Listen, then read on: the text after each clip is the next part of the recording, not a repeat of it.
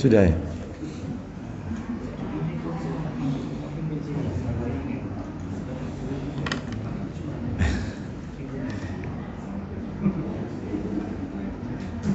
Sudah.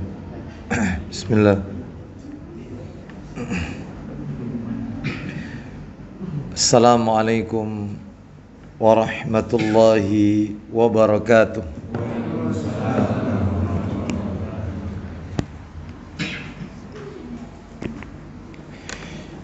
إن الحمد لله نحمده ونستعينه ونستغفره ونعوذ بالله من شرور أنفسنا وسيئات أعمالنا من يهده الله فلا مضل له ومن يضلل فلا هادي له وأشهد أن لا إله إلا الله وحده لا شريك له وأشهد أن محمدا عبده ورسوله. يا أيها الذين آمنوا اتقوا الله حق تقاته ولا تموتن إلا وأنتم مسلمون. أما بعد فإن أصدق الحديث كتاب الله وخير الهدي هدي محمد صلى الله عليه وسلم. وشر الأمور محدثاتها وكل محدثة بدعة وكل بدعة ضلالة وكل ضلالة في النار إخوان وأخواتي في الله Bapak-bapak, ibu-ibu, kaum muslimin dan muslimah Jamaah Majelis Taklim Musalla Langgar Kidul Al-Muhajirin Taman Suko Asri yang semoga dimuliakan oleh Allah Subhanahu wa taala. Tidak ada kata yang patut kita ucapkan di sore hari ini selain rasa syukur kita kepada Allah tabaraka wa taala atas segala karunia nikmat yang telah Allah berikan kepada kita sehingga kita dipertemukan kembali di salah satu rumah Allah dari sekian banyak rumah-rumah Allah yang ada di muka bumi ini yaitu Musalla Al-Muhajirin perumahan Taman Suko Asri Sukodono Sidoarjo dalam rangka melaksanakan perintah Allah Subhanahu wa taala yaitu talabul ilmi menuntut ilmu. Semoga niat kita langkah kaki kita semuanya tercatat di sisi Allah sebagai pemberat timbangan amal kebajikan kita kelak di yaumil qiyamah. Sebagaimana Allah Subhanahu wa taala berfirman di dalam Al-Qur'anul Karim, tepatnya di surat Yasin, surat yang ke-36 di ayat yang ke-12. Allah berfirman, "Inna nahnu nuhyil mauta" wa naktubu ma qaddamu wa atharahum wa kulla syai'in ahsainahu fi imamin mubin. Yang menarik dari ayat ini adalah ketika Allah berfirman wa naktubu ma qaddamu wa atharahum. Kami telah menulis apa-apa yang telah mereka kerjakan dan bekas-bekas yang telah mereka tinggalkan. Kata para alim ulama ahli tafsir, salah satunya yang disampaikan oleh Al-Hafidz Ibnu Katsir rahimahullah. Di dalam kitab tafsirnya Tafsir Ibnu Katsir yang dimaksud dengan Allah menulis bekas-bekas yang telah mereka tinggalkan adalah Allah mencatat langkah kaki langkah kaki hamba-hamba Allah yang dipergunakannya ketika di dunia untuk menuju ke tempat-tempat yang diridhoi oleh Allah Subhanahu wa taala. Salah satu di antaranya adalah melangkahkan kaki ke masjid, melangkahkan kaki untuk menuntut ilmu dan juga melangkahkan kaki ke tempat-tempat yang Allah ridha. Semoga kita semua yang hadir di majelis ini tercatat di sisi Allah sebagai orang-orang yang istiqomah selalu melangkahkan kaki ke tempat-tempat yang Allah ridhoi. Salah satunya adalah talabul ilmi, menuntut ilmu. Bapak Ibu kaum muslimin dan muslimah rahimani wa rahimakumullah.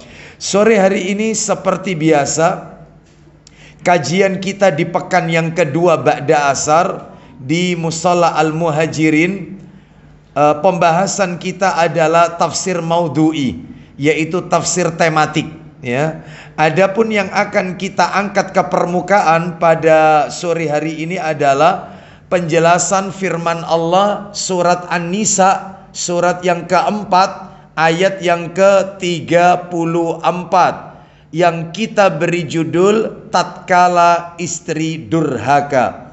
Jadi kita membahas yaitu nukilan, penggalan firman Allah di dalam surat An-Nisa surat yang keempat ayat yang ke-34 yang mana kita beri judul nukilan dari firman Allah di surat An-Nisa ayat 34 ini yaitu dengan judul uh, tatkala istri durhaka atau dalam bahasa syar'inya adalah nusyuz.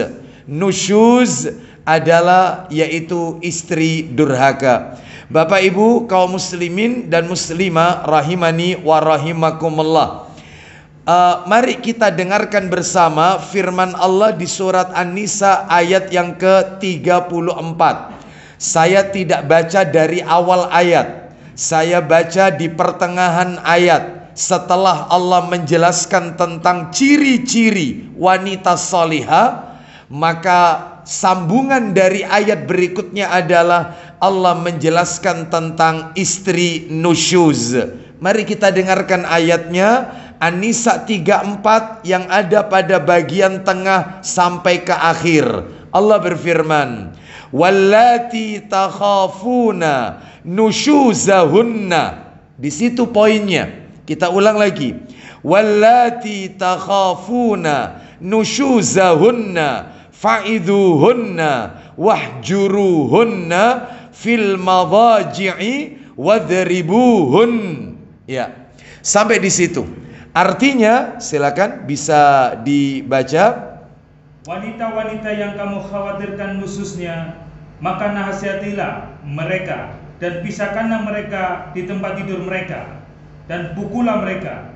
Kemudian jika mereka mentaati, maka janganlah kamu mencari-mencari jalan untuk menyusahkannya. Sesungguhnya Allah Maha Tinggi lagi Maha Besar. Nah, Bapak Ibu sekalian rahimani wa rahimakumullah.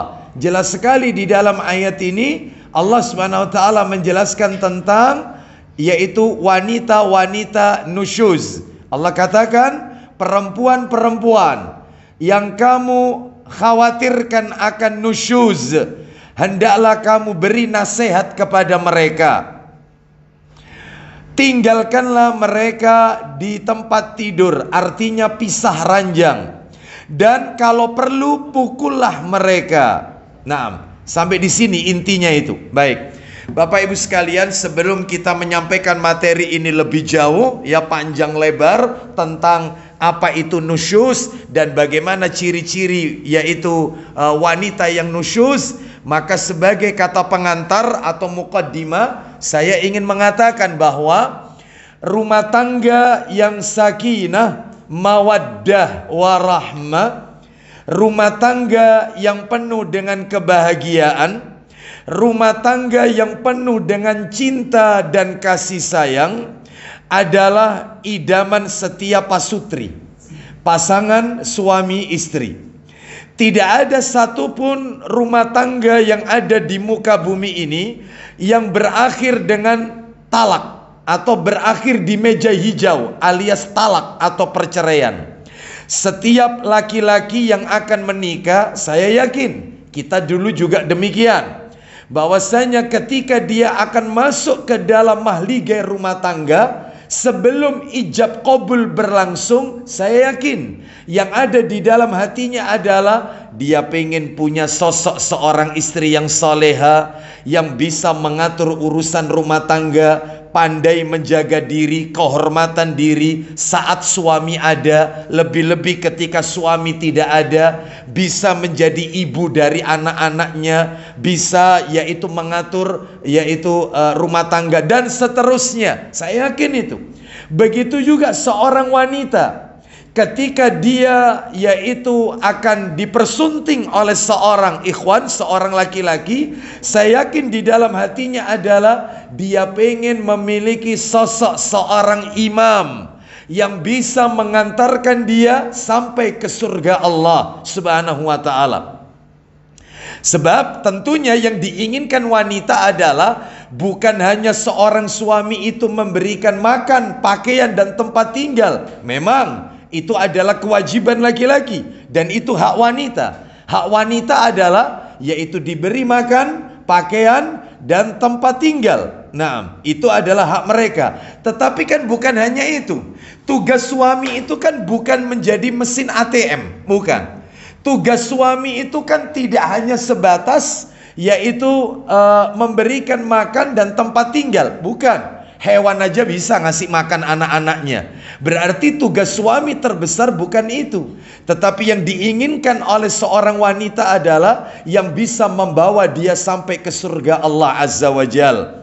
Kenapa? Karena Allah berfirman, "Ku anfusakum wa ahlikum nara." Jagalah dirimu dan keluargamu dari api neraka. Jadi intinya setiap pasangan suami istri pasti menginginkan pasangan hidupnya yang soleh dan soleha. Namun ada komanya ini.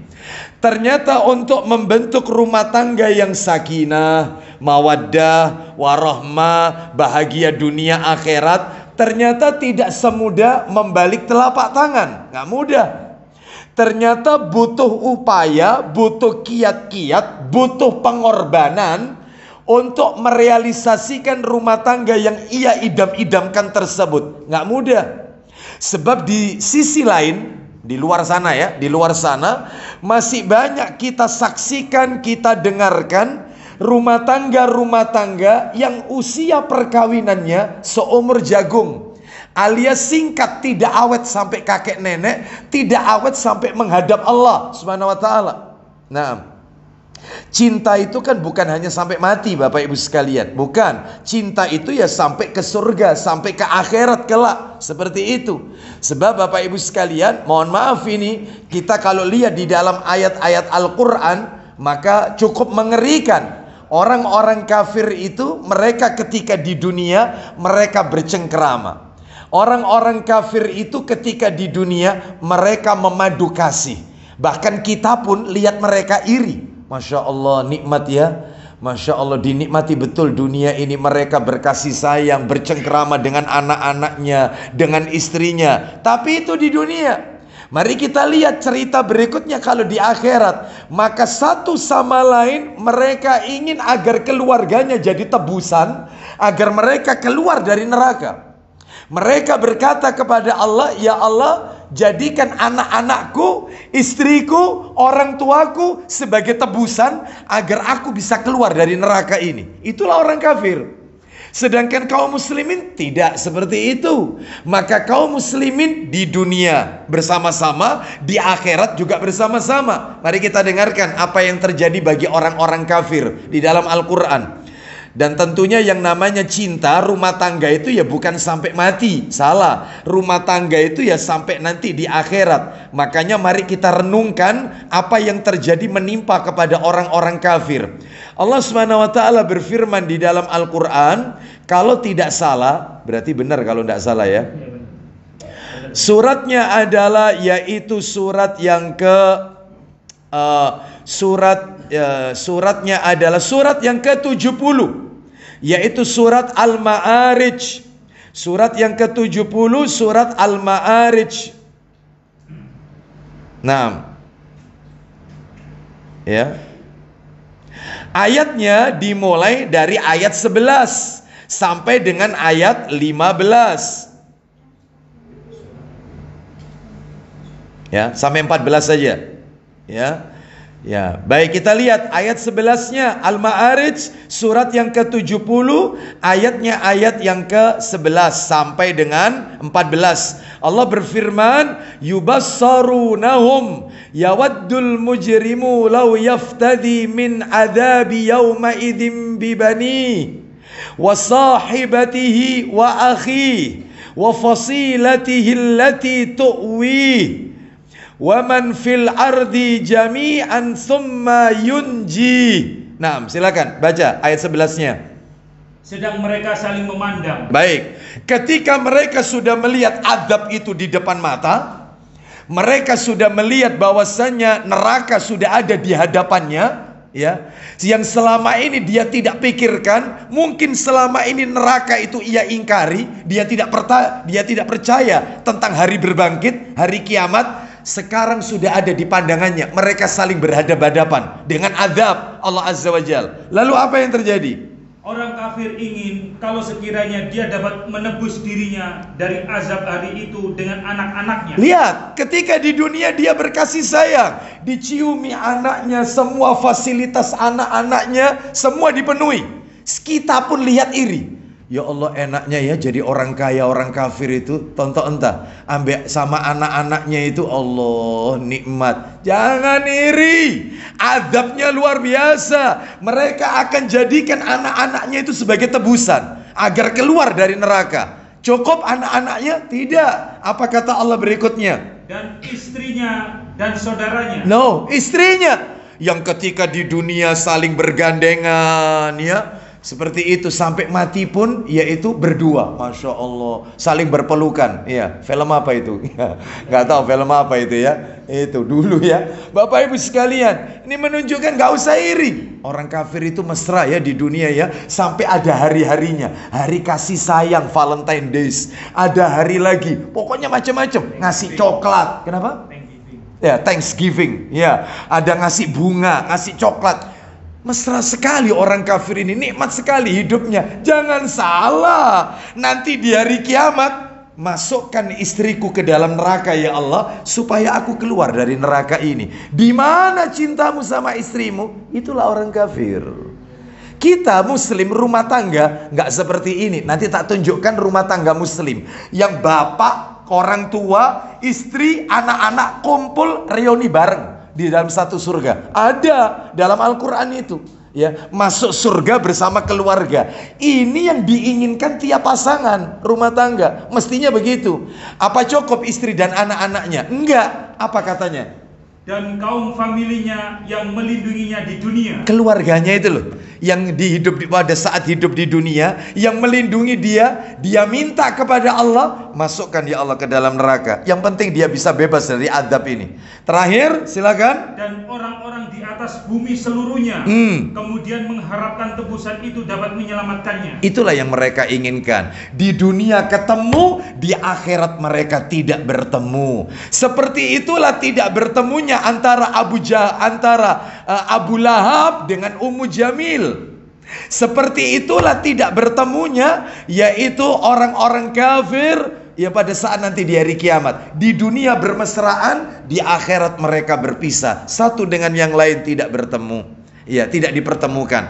Oleh karena itu, ini orang kafir. Lah kalau orang beriman, beda lagi ceritanya. Allah sebutkan di dalam Al-Qur'an. Mudah-mudahan kita termasuk dalam ayat yang Allah sampaikan ini, yaitu suratnya surat nomor 13 Ar-Ra'du ya surat 13 Ar-Ra'du yaitu ayatnya adalah ayat yang ke uh, 23 ayatnya 23 jannatu adni yadkhulunaha wa man salaha min abaihim wa azwajihim wa dhurriyyatihim wal malaikatu yadkhuluna alaihim min kulli bab. Silakan. Yaitu surga Aden hmm. yang mereka masuk ke dalamnya bersama-sama dengan orang-orang yang soli dari, dari bapak-bapaknya. Dari bapaknya, terus istri-istrinya. No, istri-istrinya, pasangan-pasangannya, terus dan anak cucu susunya. Duh, kumpul bareng di surga Aden. Lanjut. Sedang malaikat-malaikat masuk ke tempat-tempat mereka dari semua pintu. Masya Allah. Mudah-mudahan rumah tangga kita seperti yang Allah sampaikan dalam ayat ini. Nah, Bapak Ibu sekalian, sehingga kembali yang tadi kami sampaikan, bahwasanya masih banyak di luar sana rumah tangga-rumah tangga yang usia pernikahannya seumur jagung alias tidak awet. Ya, mereka berakhir di meja hijau alias talak. Bahkan Bapak Ibu, ya kalau boleh jujur ini ya, mohon maaf ini berdasarkan pengalaman ini ya Mungkin saya ya salah satu mungkin ya salah satu orang yang sering menyaksikan seperti ini. Kenapa?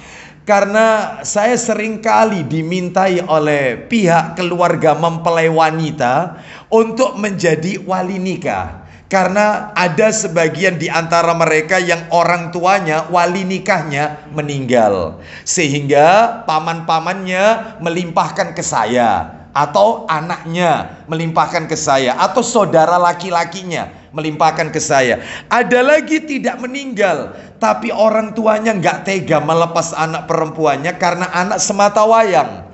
Dia berat untuk khawatir pada saat ijab kabul dia nggak tega untuk mengucapkan itu maka diwakilkan ke saya. Nah, yang aneh adalah yang aneh dan ini sering kali saya temukan Laki-laki yang mau saya ijab kobuli ini, yang mau saya nikahkan ini, yang saya genggam erat tangannya ini bersalaman adalah laki-laki yang sama yang dua tiga tahun yang lalu juga saya nikahkan.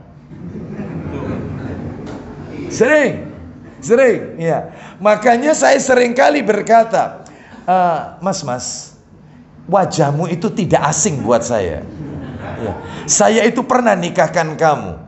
Apa katanya? Lah iya Pak Ustadz makanya dari tadi saya nggak mau lihat Pak Ustadz. No, ya baik. Sekarang Anda di depan saya, mumpung belum ijab kabul, ini apa maksudnya? Antum mau ta'adud zaujat, poligami, atau bagaimana? Yang Ustadz nikahkan 2-3 tahun yang lalu itu Ustadz Allah cerai Ustadz. Allahu Akbar. Padahal saya masih ingat betul pernikahannya menelan biaya yang tidak cukup puluhan juta, nggak cukup. Dengan pernak pernik pernikahan yang luar biasa, mulai dari undangan sampai gedung atau hotel sampai makanan dan yang lainnya, cuman berakhir 2-3 tahun. Ya. Banyak seperti ini Bapak Ibu sekalian. Oleh karena itu bahkan kalau kita lihat ini salah satu uh, situs yang dikeluarkan oleh Direktorat Jenderal Badan Peradilan Agama Mahkamah Agung Silakan bisa dibuka situsnya. Disebutkan bahwasanya tingkat perceraian tertinggi se-Asia adalah Indonesia. Indonesia. Ada apa di negeri kita ini? Bukankah jumlah kaum muslimin paling banyak di dunia Indonesia, mayoritas. Ya. Lalu jumlah pondok pesantren, apalagi yang dikelola sesuai sunnah, sudah uh, tidak bisa kita hitung dengan jari jemari. No, banyak. Uh, para asatid, para ustadz, tokoh-tokoh, cendikiawan muslim sudah tidak bisa lagi dihitung dengan jari jemari. Banyak, tetapi justru tingkat perceraian tertinggi Indonesia. Ada apa? Ternyata penyakitnya adalah muncul ditemukan yaitu rumah tangga itu tidak awet lantaran di rumah tangga itu ada satu virus. Virus itu disebut nusyuz. Dan yang namanya nusyuz Bapak Ibu tolong diperhatikan mumpung ketemu bapak-bapak ini. Ya. Yang namanya nusyuz itu tidak harus bersumber dari wanita istri enggak kalau tadi yang dibaca oleh Pak Didik tadi itu, itu kan nusyus pada istri. Anisa ayat 34. Lu memangnya suami nusyus itu ada? Ada. Di mana? Suratnya sama Anisa. Ayatnya 128. Beda ayat. Satu surat beda ayat. Coba dibuka Anisa. Ayo kita lihat. Oh ternyata suami itu ada nusus juga. Iya. Ada ya 128. Kita lihat sekarang. Allah Subhanahu wa taala berfirman, "Wa inimra'atun khafat min ba'liha nusyuzan aw i'radan fala junaha 'alaihima." Sampai di situ ila akhiri ayat. Ayo baca. Dan jika seorang wanita khawatir akan nusus atau sikap tidak acuh dari suaminya. No. Jika seorang wanita khawatir akan uh, nusyus dari suaminya, sikap tak acuh dari suaminya, Berarti suami nusyus itu ada? Ada. Ya, memang betul Bapak Ibu. Memang benar, memang benar. Tidak ada istilah suami durhaka, tidak ada. Tidak ada istilah orang tua durhaka, tidak ada istilah mertua durhaka. Tetapi kalau suami zalim, orang tua zalim, mertua zalim ada. Ada. Menantu durhaka ada. Tapi mertua durhaka tidak ada. Orang tua durhaka sama anak nggak ada istilah itu. Tapi orang tua zolim banyak. Makanya suami zolim kepada istri ada. Ini salah satunya. Nusyus yang dimaksud di sini dia menempatkan sesuatu tidak pada tempatnya. Dan insya Allah itu kita akan bahas Supaya kajian kita ini berimbang. Gak harus istri terus itu ya. Insya Allah kalau tuntas materi ini Ya bulan depan gantilah Suami zolim kepada istri.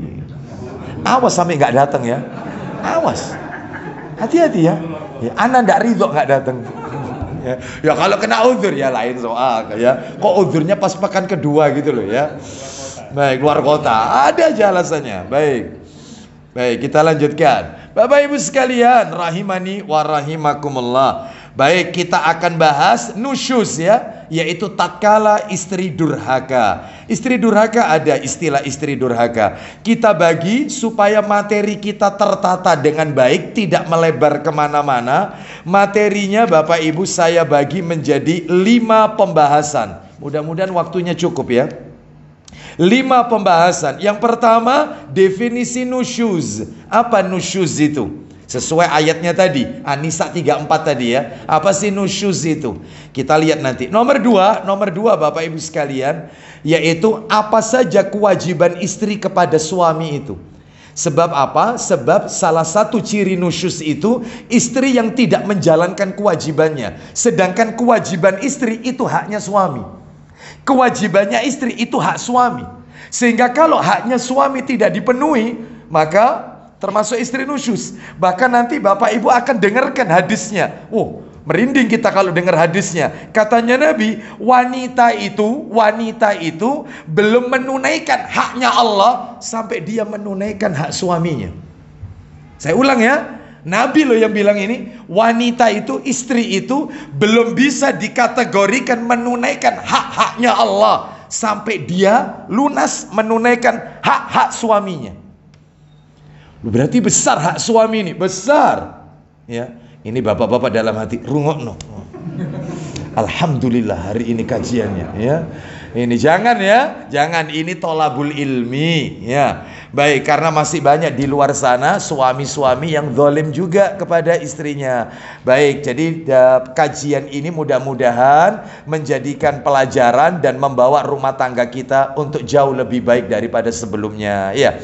Baik, jadi apa saja kewajiban istri kepada suami itu? Itu nomor dua. Yang nomor tiga, Bapak Ibu, pembicaraan kita tingkatkan. Hukum nusyus. Apa hukumnya? Haramkah? Makruhkah? Kita nanti lihat. Hukum nusyus. Yang keempat, mengobati istri yang nusyus. Cara pengobatnya, terapinya gimana? Kalau kita sudah misalnya rumah tangga itu seorang suami punya istri yang ternyata masuk kategori nusyus. Gimana cara nerapinya ini? Ngobatinya gimana? Ternyata Al-Quran memberikan jawaban. Nanti kita akan bahas. Mengobati istri nusyuz. Dan yang kelima, sebagai penutup Bapak Ibu sekalian. Oh maaf, itu yang kelima tadi ya. Oh. Mengobati istri nusyuz. Berarti cuma empat aja. Empat saja ya. Ya, nanti yang nomor empat itu yang agak panjang. Baik kita akan bahas yang pertama Bapak Ibu sekalian. Definisi nusyuz.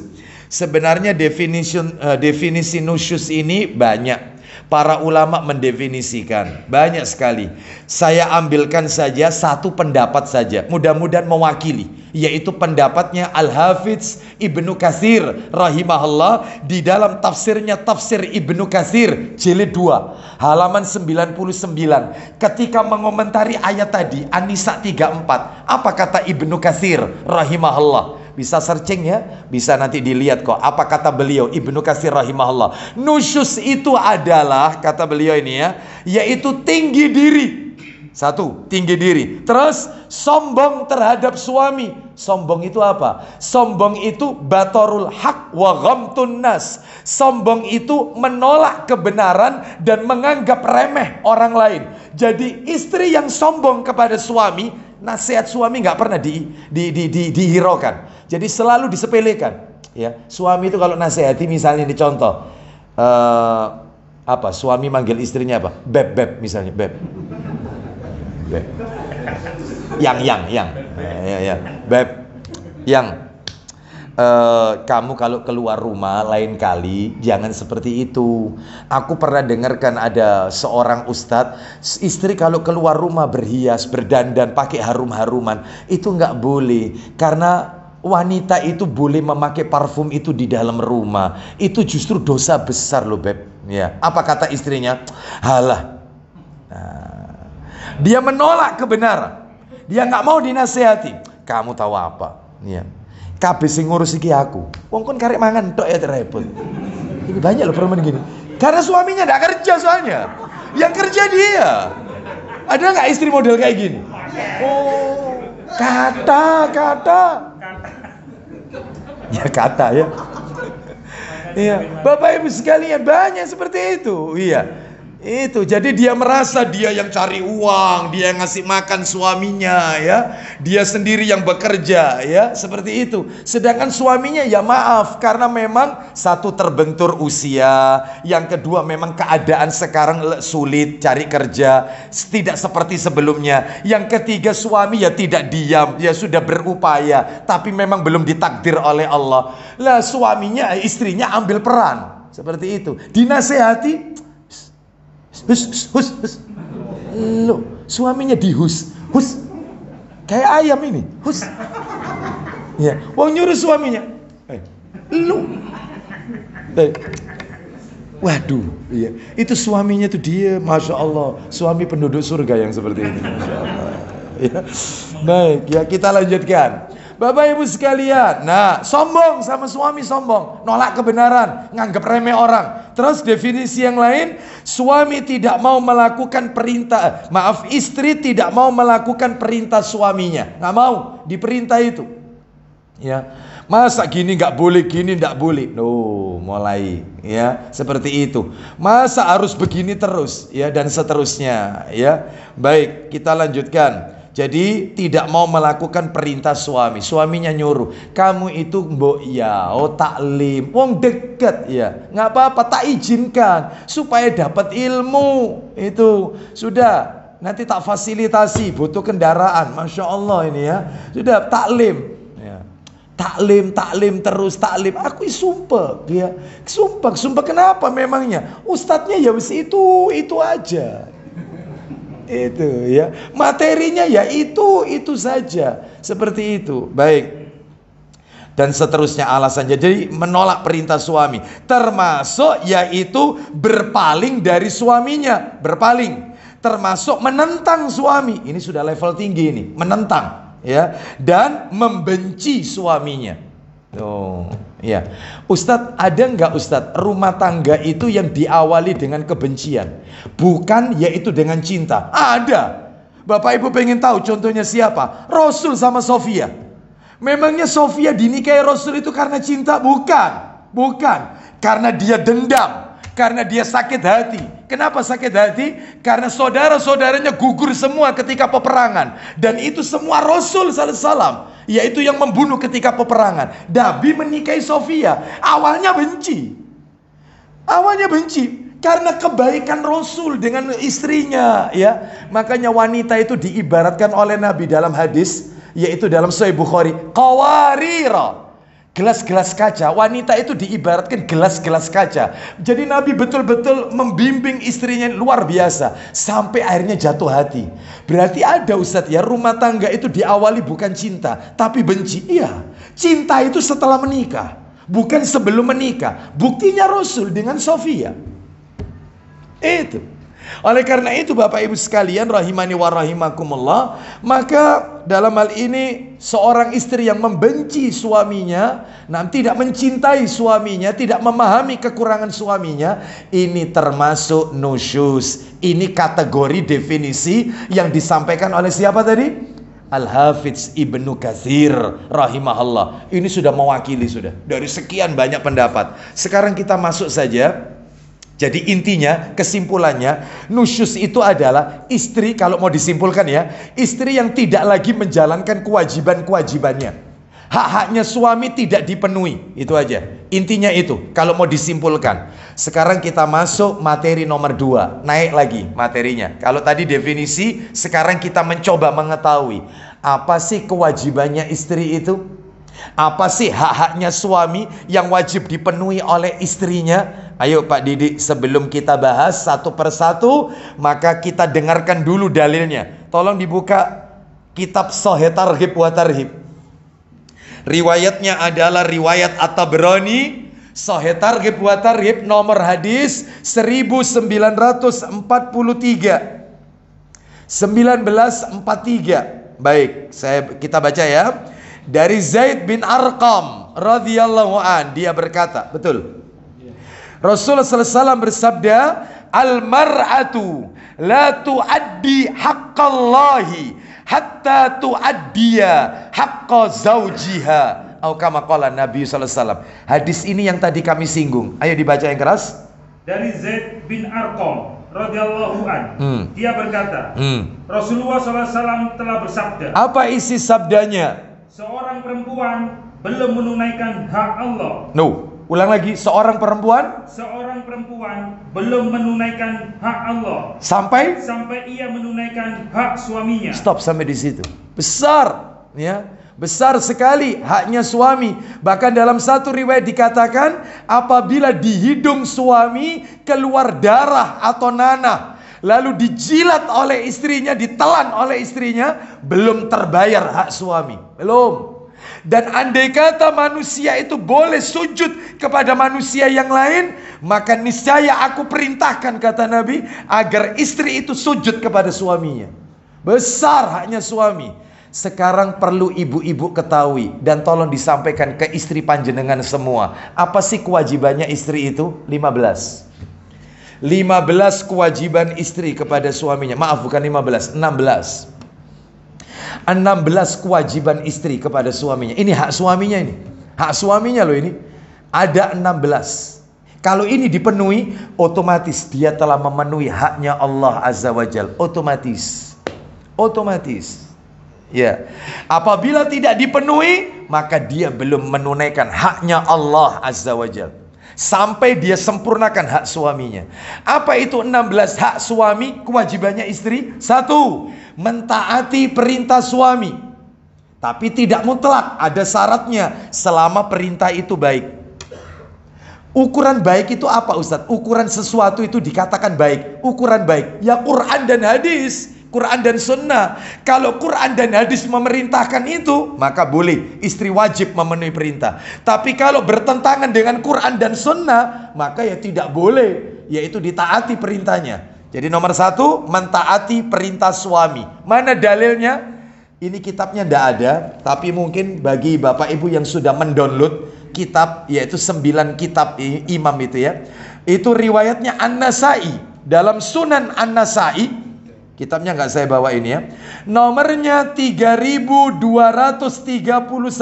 Saya bacakan aja. 3231. Diperhatikan. Dari sahabat Abu Hurairah radhiyallahu an. Dia berkata, Qila li Rasulillahi sallallahu alaihi wasallam, ayun nisa'i khairun? Seseorang bertanya kepada Nabi. Nabi ditanya oleh seseorang, ayun nisa'i khairun? Siapakah wanita yang paling baik itu?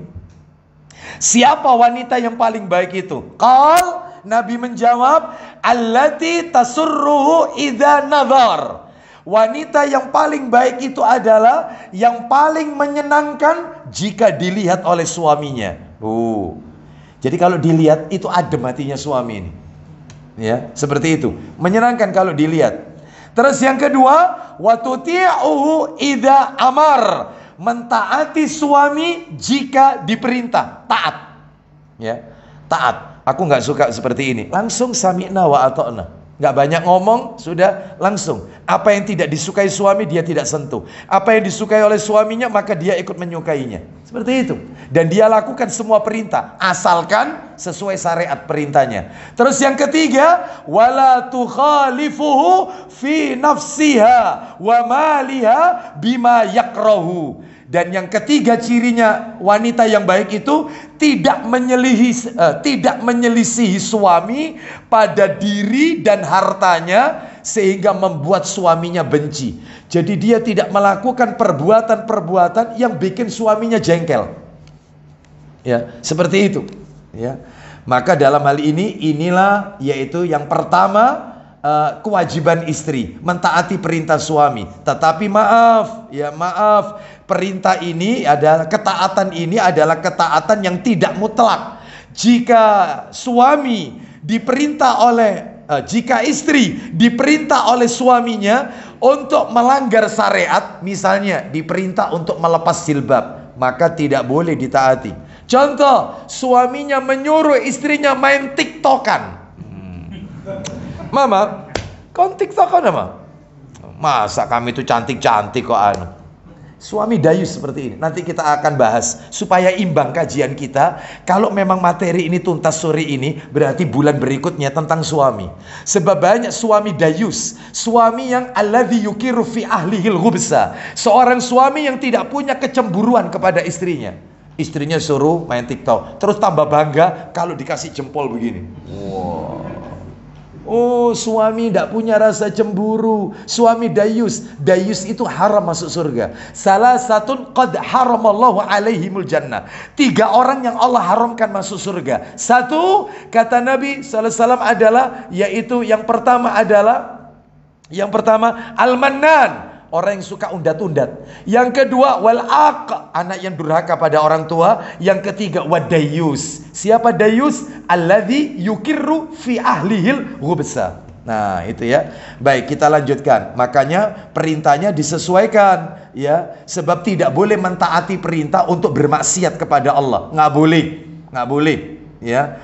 Misalnya suaminya menyuruh yaitu uh, meninggalkan sholat, suaminya menyuruh, maaf ini ya, maaf, maaf, saya pakai bahasa sari aja karena ada anak kecil, suaminya meminta yaitu jima pada saat dia halangan, ya, atau suaminya memerintahkan istrinya untuk melayani jima tidak pada tempatnya yang disyariatkan oleh Allah dan Rasulnya Sallallahu Alaihi Wasallam. Lah ini nggak boleh, ini nggak boleh ditaati, ya nggak boleh karena haram, ya. Bahkan Allah SWT bahkan Rasul SAW mengatakan silakan mendatangi istri dari arah mana pun asalkan pada tempat yang disyariatkan ya. Baik, kita lanjutkan. Mana dalilnya tambahan tambahan dalil? Ayo dibuka Sahih Bukhari. Oh, mohon maaf Sahih Muslim. Sahih Muslim bukan Bukhari. Sahih Muslim. Nomornya 1807. 1807 1807 itu nomor cetakan terjemahan. Kalau nomor aslinya beda lagi, 1840 nomor asli. Kita baca yang cetakan terjemahan. Nabi bersabda, "La ta'ata fi maksiatillah, innama ta'atu fil ma'ruf." Silakan. Ya, 1807 Ali bin Abi Thalib radhiyallahu an dari Ali bin Abi Thalib radhiyallahu an. Ya. Katanya, uh. pada suatu ketika Rasulullah SAW mengirim sepasukan tentara ke medan perang. Terus. Dan mengangkat seorang laki-laki menjadi komandan mereka. Lanjut. Sampai di suatu tempat, sang komandan menyalakan api unggun. Terus. Dan memerintahkan anak buahnya melompat ke dalam api unggun tersebut. Nah, ini pemimpin yang uh, anu ini menyelisihi ya, memerintahkan anak buahnya untuk masuk ke api unggun itu. Lanjut teruskan. Sebagian anak buahnya telah siap hendak melompat ke dalam api tersebut. Terus. Tetapi yang lain berkata, ya. kita harus lari dari api itu. Ya. Peristiwa itu mereka laporkan kepada Rasulullah SAW. Lanjut. Maka beliau bersabda. Ini isinya, silakan. Seandainya kamu melompat ke dalam api itu, maka kamu akan senantiasa berada di dalamnya hingga hari kiamat nanti. Allahu Akbar. Azab. Ya. Terus.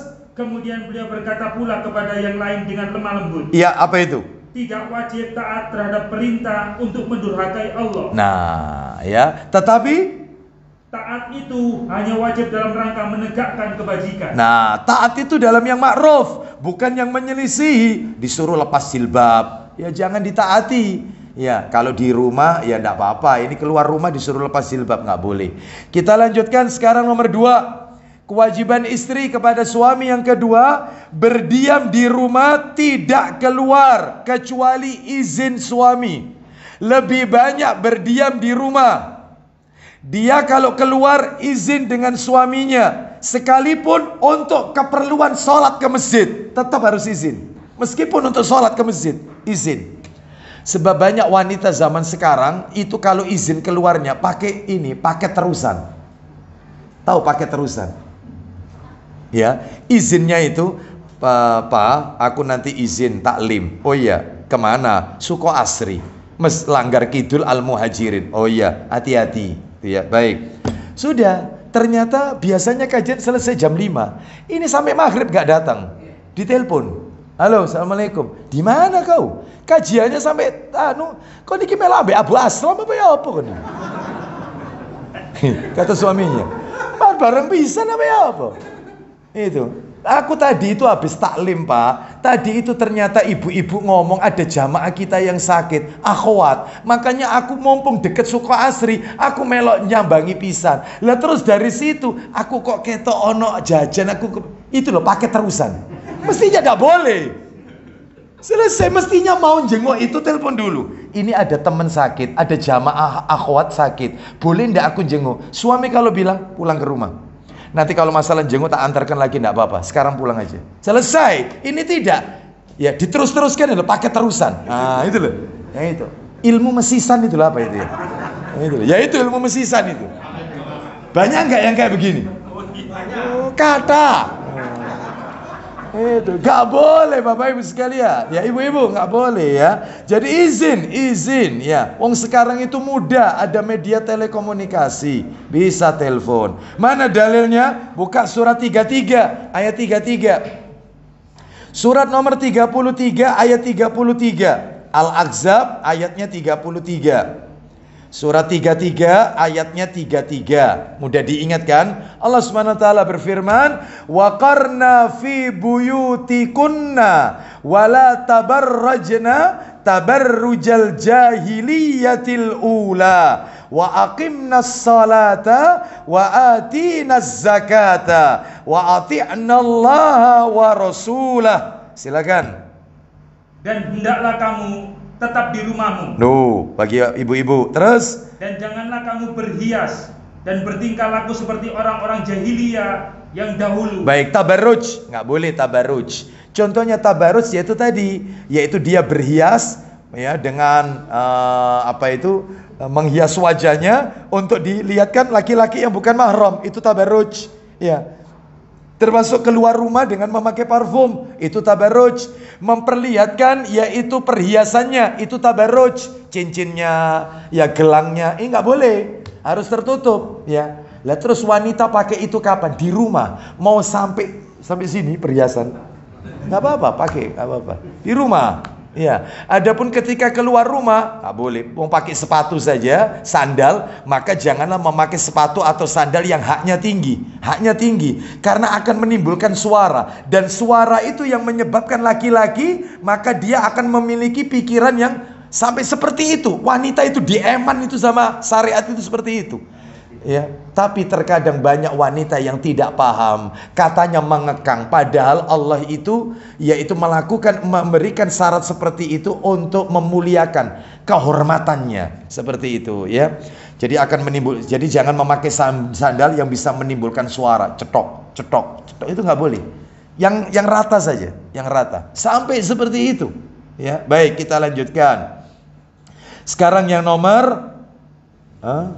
Oh sebentar, sebentar, belum nomor tiga. Saya tambahkan dalil lagi, tambah lagi dalil. Sahih Muslim, nomornya 397, cetakan terjemahan. Kalau nomor aslinya 442, 397.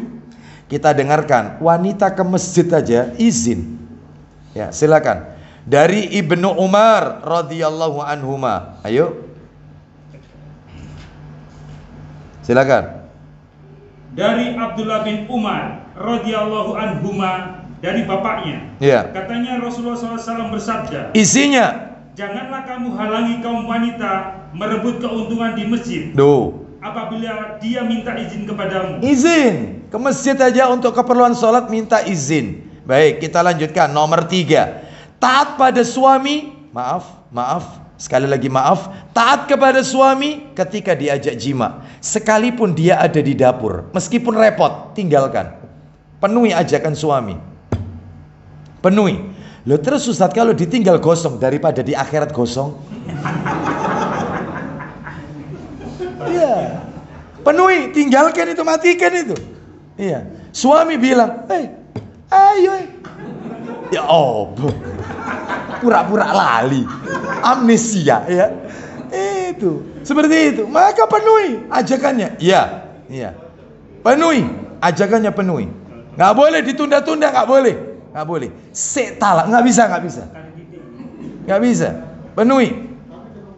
Kadang-kadang istri puasa Senin Kamis, Senin Kamis, suaminya pulang jam 4 sore. Iya, ternyata suami bilang, ayo, ayo. Ya. Apa kata? Setalak, mari ini mari. Wis talak, moco-moco opo ngono ya. Moco Quran gitu ya. Lihat TV gitu biar pikiranmu ndak aneh-aneh. Loh, nggak boleh. Harus berarti dibatalkan Ustadz meskipun maghrib kurang setengah jam. Batalkan. Penuhi, nggak boleh menolak. Nggak boleh menunda jawaban, nggak boleh. Ya, dengarkan ibu-ibu sekalian ya. Ini nggak boleh. Mana itu dalilnya? Ayo silakan dibuka. Dalilnya yaitu di dalam kitab Sahih Targhib wa Tarhib. Ya, riwayat Tirmidzi, An-Nasa'i, Ibnu Hibban. Sahih Targhib wa Tarhib nomor 1946, 1946. Kita dengarkan.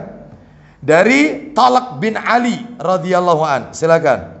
Dari Tolak bin Ali radhiyallahu an, Hmm. bahwasanya Rasulullah SAW telah bersabda, Isinya apabila seorang lelaki memanggil istrinya untuk hajatnya atau untuk berjima, maka hendaklah ia mendatanginya sekalipun ia sedang berada di tempat memasak. No, meskipun berada di dapur. Diulangi Ustaz. Enggak usah. Sudah cukup jelas itu ya. itu ya. Jelas sekali. Kita lihat lagi dalil yang lain 1943. 1943 Sahih Targhib wa Tarhib ya. Dari apa ini kita lihat, kita lihat 1943. Ya, mundur eh, dari nomor sebelumnya. Loh, tadi kan 1946. Sekarang 1943 kan? Ya, coba Dari Zaid bin Arqam radhiyallahu an, dia berkata, Rasulullah SAW telah bersabda, seorang perempuan belum menunaikan hak Allah sampai ia menunaikan hak suaminya. lanjut. Hingga seandainya suami memintanya untuk berjima Ya. pada saat ia sedang berada di atas punggung onta. Dia berada di atas punggung onta. Berarti wanita itu siap melakukan aktivitas. Entah itu mau keluar rumah ke pasar atau kerja atau apa. Suami memintanya. Maka Ia tidak boleh menolaknya. no, nggak boleh. Turun. Penuhi ajakan suami. Seperti itu. Ya, baik. Kita lihat lagi dalil yang lain.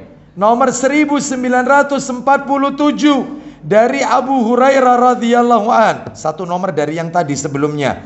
Ya, 1947 riwayat Bukhari, Muslim, Abu Dawud dan An-Nasai. Silakan. Dari Abu Hurairah radhiyallahu an, dia menuturkan Rasulullah SAW bersabda, Ya, apabila seorang lelaki mengajak istrinya ke tempat tidurnya untuk berhubungan, lalu ia tidak mendatanginya, kemudian suami melewati malam dalam keadaan marah kepadanya, niscaya ia dilaknat oleh para malaikat hingga waktu pagi. Nah, dilaknat oleh malaikat. Berarti ini tidak diperbolehkan.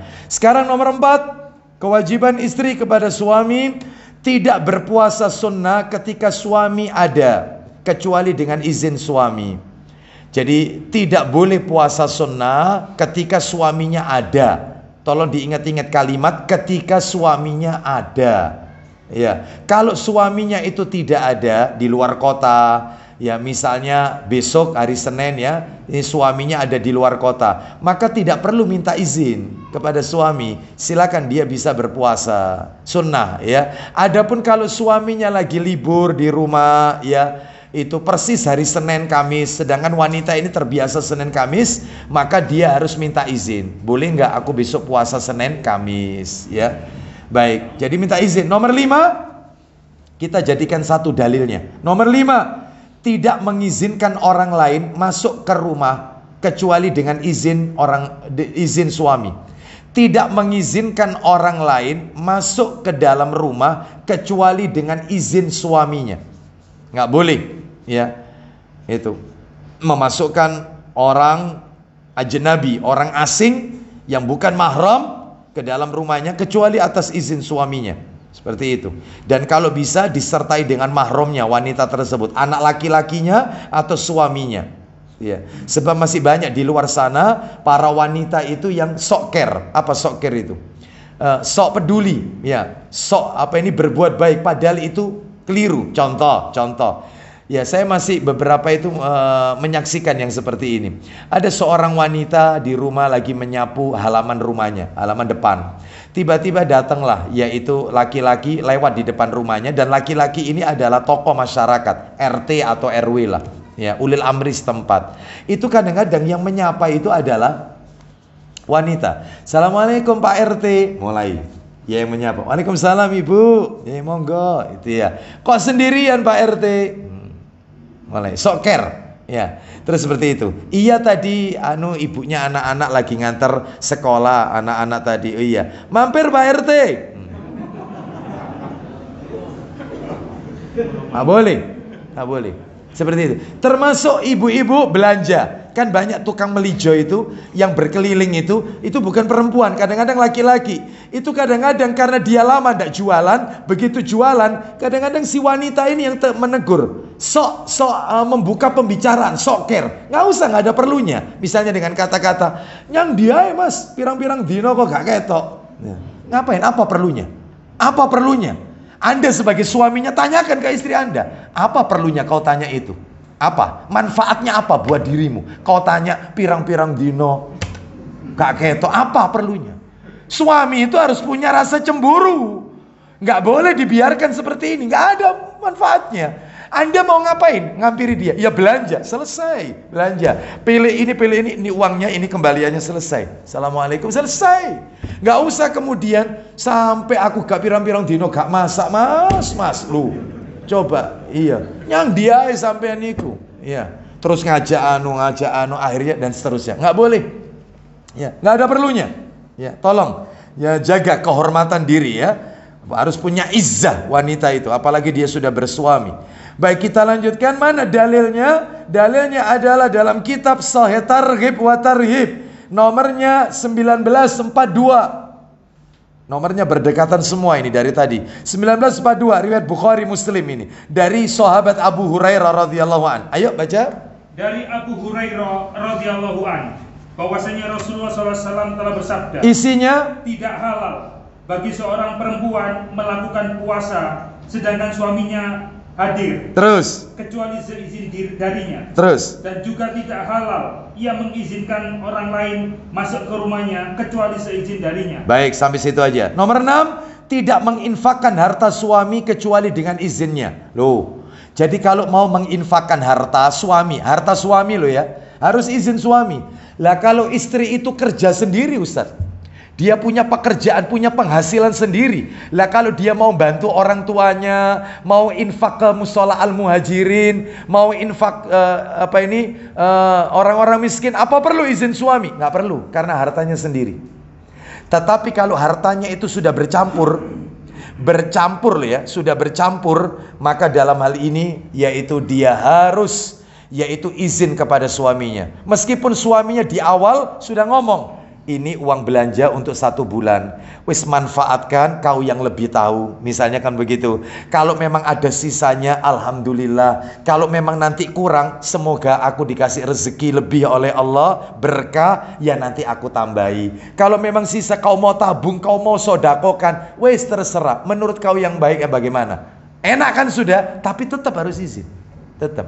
Bang aku mau bantu ini, bang aku mau bantu ini. Izin. Karena itu sudah campur sama hartanya suami. Kalau dia punya harta sendiri, tabungan sendiri, apalagi peninggalan bapaknya, warisan bapaknya. Oh, kalau wanita itu ingin menggunakan hartanya, nggak izin nggak apa-apa. Karena hartanya sendiri.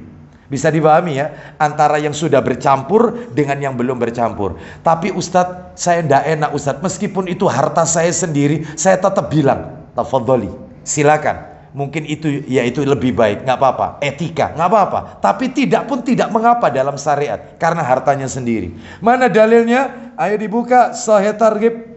Oh maaf ini kitabnya tidak saya bawa. Sahih Targhib buat Targhib nomor 943 jilid 2 semestinya ya yaitu dari sahabat Abu Umama Al-Bahili radhiyallahu an riwayat Tirmidzi. Kita lanjutkan aja Bapak Ibu, nomor 7.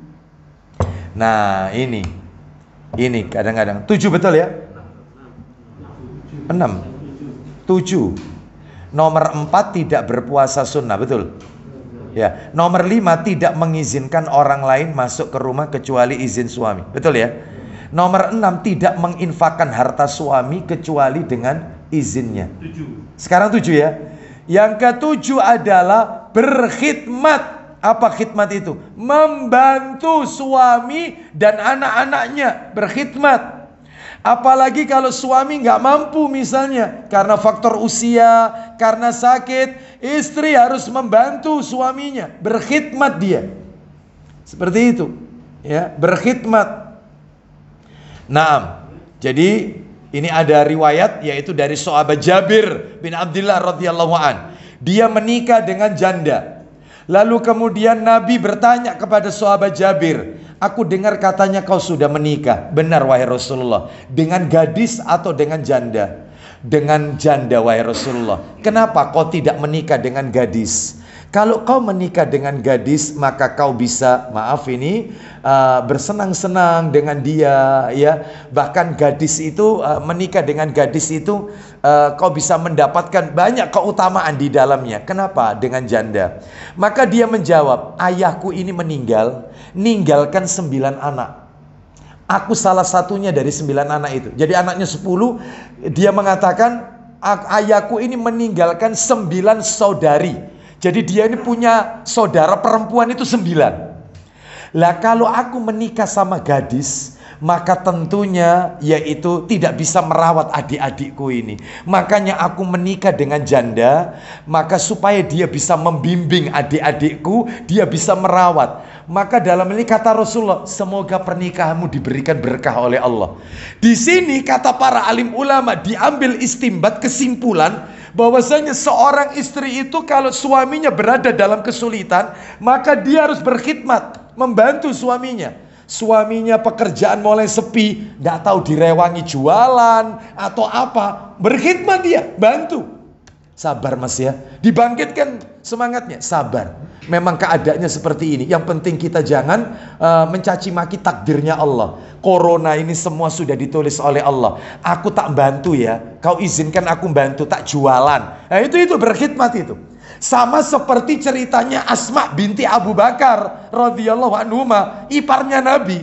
Kan anaknya Abu Bakar Aisyah dinikahi Nabi. Lah Asma ini saudara kandungnya Aisyah. Itu Asma punya suami namanya Zubair. Zubair radhiyallahu an itu Bapak Ibu tahu Asma ini yang merawat kudanya Zubair yang memberi minum, ngasih makan sambil dia itu ngangkat barang itu ditaruh di atas kepalanya.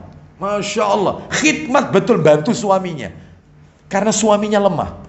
Dia yang kerja, bantu suaminya. Seperti itu. Istri itu berkhidmat kepada suami dan anak-anaknya. Seperti itu. Mana dalilnya? Ayo dibuka dalilnya Sahih Muslim nomornya 1409 1409 1409 tapi ya begitu. Jadi seorang suami ya jangan berpangku tangan ya, harus berupaya membantu istrinya. Nabi aja membantu istrinya, bukan aib. Suami bantu istrinya itu bukan aib, bukan aib.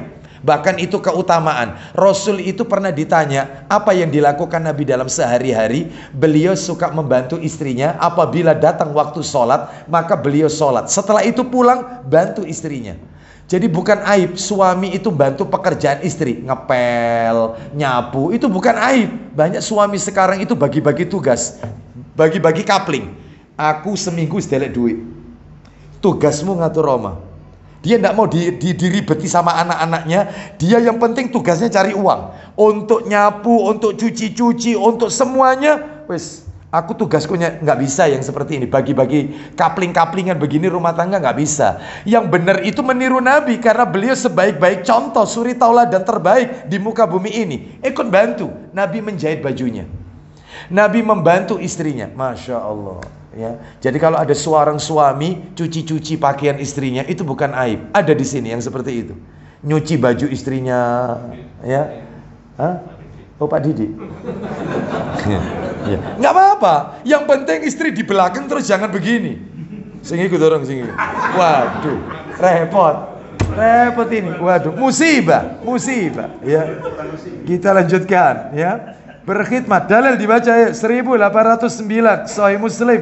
Eh 1409 1409 dari Jabir radhiyallahu an. Yuk.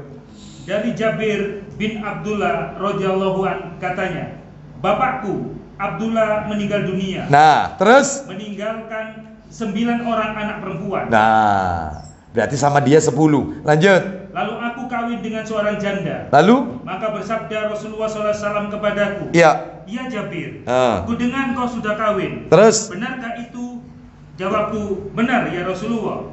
Terus? beliau, dengan gadis atau dengan janda? Kau nikah dengan gadis atau dengan janda? Terus lanjut. Jawabku dengan janda ya Rasulullah. Dengan janda. Terus? Sabda Nabi SAW, kenapa tidak dengan gadis? Nah, terus? Walaupun gadis itu saya engkau akan senang bertumbuh atau gelak tertawa dengannya. Nah, kalau dengan gadis. Terus? Jawabku, ayahku Abdullah meninggalkan meninggal dunia dan meninggalkan sembilan orang anak perempuan. Terus? Aku tidak ingin kawin dengan perempuan yang sebaya dengan saudara-saudaraku. Nah, aku nggak pengen nikah sama gadis yang umurnya sebaya dengan aku. Gimana merawat adik-adikku ini? Lanjut teruskan. Tetapi lebih suka membawa kepada mereka perempuan yang dapat mengurus kemaslahatan mereka. Nah, lanjut. Sabda Nabi SAW, semoga Allah memberkatimu. Nah, semoga Allah memberkahi pernikahanmu. Didoakan sama Nabi. Boleh. Alasannya ini ya. Baik, kita lihat berarti intinya wanita itu harus menolong suaminya, berkhidmat. Urusan-urusan duniawi suaminya itu dibantu. Terus kemudian setelah itu tambahkan lagi dalil cerita tentang Asma tadi. Saudarinya Aisyah radhiyallahu anha, radhiyallahu anhuma. Nah, yang membantu suaminya namanya Zubair. Coba dibuka Sahih Muslim nomornya 2045. 2045. 2045 silakan. Ketemu? Ya nggak usah semua nanti. Silakan.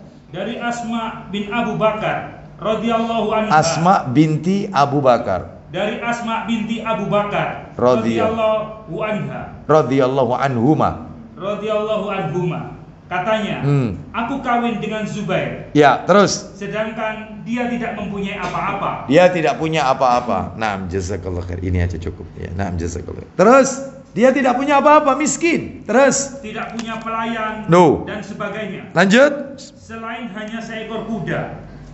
Karena itu, akulah yang memberi makan kuda hmm. dan merawat serta melatihnya. Hmm. Aku pula yang menumbuk Merawat serta melatih loh kuda miliknya Zubair. Karena dia nikah sama laki-laki bernama Zubair ini, Zubair nggak punya apa-apa, tapi dia bantu. Terus lanjut. Aku pula yang menumbuk biji kurma untuk makan. No, terus. Menyediakan makan dan minumnya. Terus. Dan aku pula yang menjahit dan memasak. Terus. Tetapi aku tidak pandai membuat roti. Lanjut. Karena itu roti kami dibuatkan oleh tetangga kami orang-orang Ansor. Nah, lanjut. Mereka adalah wanita-wanita yang baik. Terus? Kata Asma selanjutnya, Aku juga menjunjung buah kurma di kepalaku. Oh, aku junjung buah kurma di kepalaku. Bantu betul suaminya, pekerjaan suaminya. Diringankan. Terus? Dari kebun yang dijatakan Rasulullah SAW. Baik, stop sampai di situ. Intinya istri itu berkhidmat, ya. Kita lanjut nomor delapan, yaitu kewajiban istri kepada suaminya, hak suami ini ya, menjaga kehormatan anak dan harta suami, menjaga kehormatan dirinya, anak-anaknya dan harta suaminya. Dalilnya yaitu surat An-Nisa ayat 34. Tapi dari awal bacanya ciri-ciri wanita soleha sebelum membahas nusyus tadi An-Nisa ayat 34. Mari kita dengarkan. Ciri wanita soleha. 34. Kan yang ayat 34 tadi tentang nusyus. Itu kan di akhir-akhir. Lah ini yang di awal-awal. Allah taala berfirman, "Fasalihatu qanitatun hafidhatun lil ghaibi bima hafidhallah." Di tengah-tengah itu. Ya, di tengah-tengah. Maka perempuan-perempuan yang salihah, ada enggak? Wanita-wanita yang salihah. Ayo. Ketemu Pak Didi. Ayo, silakan Pak Didi. Maka perempuan-perempuan yang soleha Ya. adalah mereka yang taat kepada Allah Wanita-wanita yang salihah adalah mereka yang taat kepada Allah terus dan menjaga diri ketika suaminya tidak ada. Nah, menjaga dirinya ketika suaminya tidak ada. Sebab banyak wanita zaman sekarang suami nggak ada malah Facebookan, ya dengan laki-laki yang bukan mahram. Loh, seperti itu. Malah ikut apa ini eh, reuni, ya. Reuni apa? Reuni SMA. Wah, itu ya. Ah, Itu memunculkan apa ini CLBK nanti. Ya, apa itu CLBK? cinta lama belum kelar ya itu bukan bersemi kembali ya nggak boleh menjaga kehormatan diri ya ada batas ada batas sudah nggak usah ikut yang kayak gitu reuni reuni SD reuni SMP nggak usah ikut kenapa karena jelas di situ akan ikhtilat campur baur dan tentunya yang campur baur itu banyak di antara mereka yang nggak nggak taklim. Sehingga apa? Akan muncul nanti syubhat ya. Nanti dosa di mata dosa di lisan dosa di telinga dosa di tangan dan seterusnya. Ya nggak usah. Seperti itu. Diikutkan grup grup reuni SD dilihat campur tidak? Kalau campur anu aja live aja. Yaitu dipisah saja antara ikhwan dengan akhwat. Tuh seperti itu.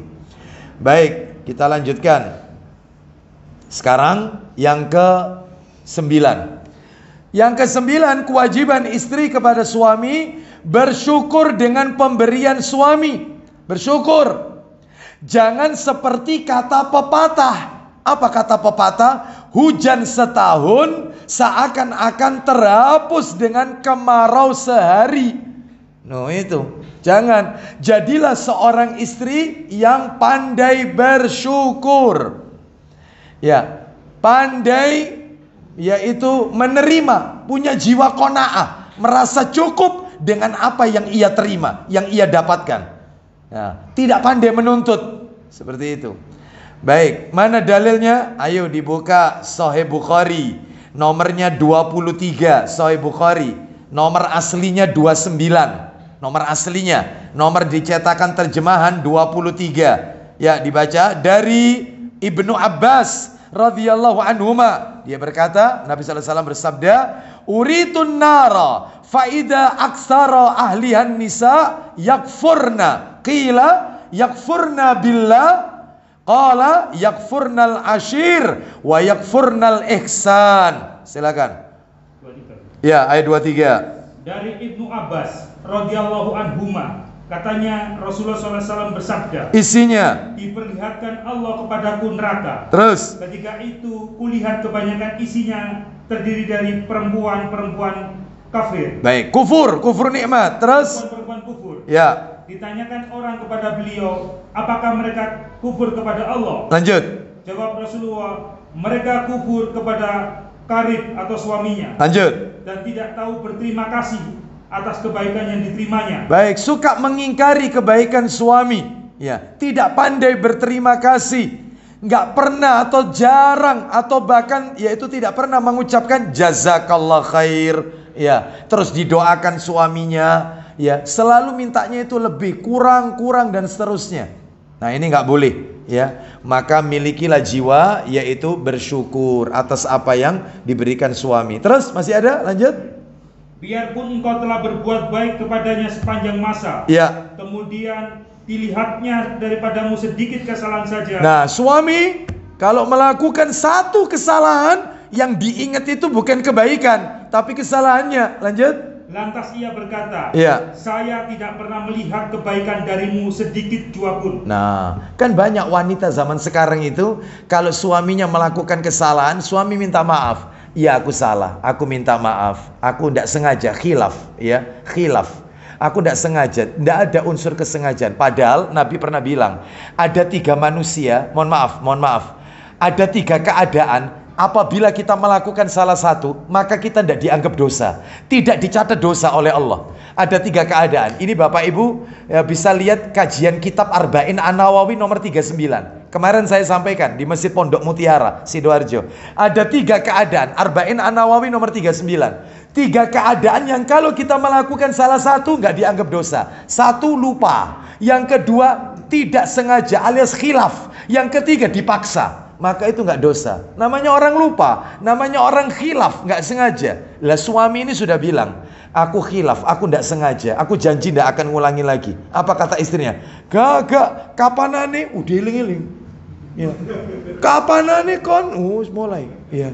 Ini kalau dipakai ngapalkan Quran, wah, masya Allah mantap itu ya. Karena ingatannya kuat. Tapi sayangnya dipakai untuk mengingat kejelekan suami, bukan untuk ngapalkan ayat Quran, ya. Oleh karena itu maka nggak boleh, ya. Ingat kebaikannya, lupakan kesalahannya. Karena tidak ada manusia yang sempurna, tidak ada. Suami ibu-ibu bukan malaikat dan ibu-ibu bukan bidadari. Tak ada gading yang tak retak, ya. Baik, kita lanjutkan dalil yang lain, yaitu kitab Sahih Targhib wa Tarhib, nomornya 1944. Ayo. 1944 riwayatnya riwayat ini ini dalil tambahan dalil tambahan. Riwayatnya An-Nasai Al-Bazzar dan Al-Hakim. Ayo dari Abdullah bin Amr. Dari Abdullah bin Amr radhiyallahu an dari Rasulullah SAW beliau bersabda, la yandurullahu ila imra'atin la tashkuru li zawjiha. Silakan Allah yang maha suci lagi maha tinggi tidak akan melihat kepada seorang perempuan yang tidak berterima kasih kepada suaminya. Allah nggak mau lihat nanti di hari kiamat wanita yang nggak pandai terima kasih kepada suaminya.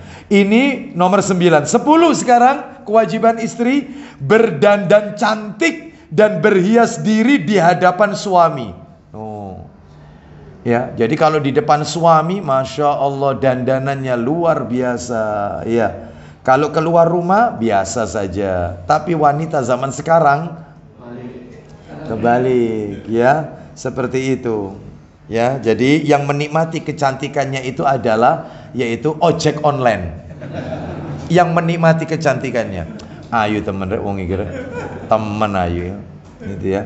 Yang menikmati orang lain bukan suaminya. Begitu pulang ke rumah suami lihat istrinya, a'udzubillahi minasyaitonirrajim.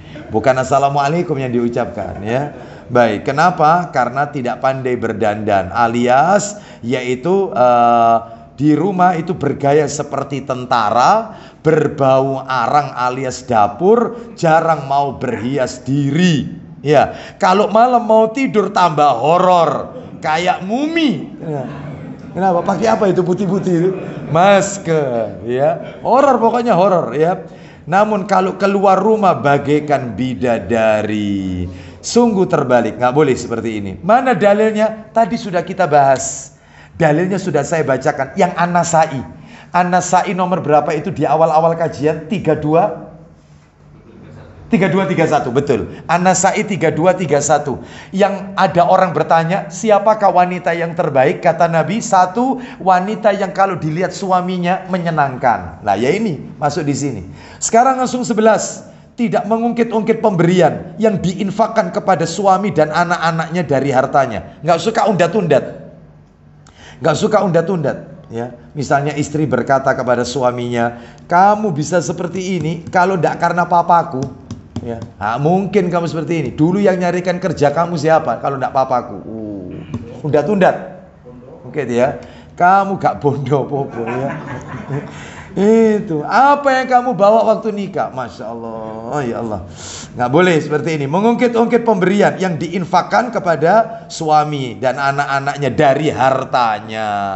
Baik, mana dalilnya? Dalilnya adalah Al-Baqarah ayat 264. Al-Baqarah ayat 264 kita dengarkan Al-Baqarah 264 Allah berfirman ya ayyuhalladzina amanu la tubtilu sadaqatikum bil manni wal adha. Silakan.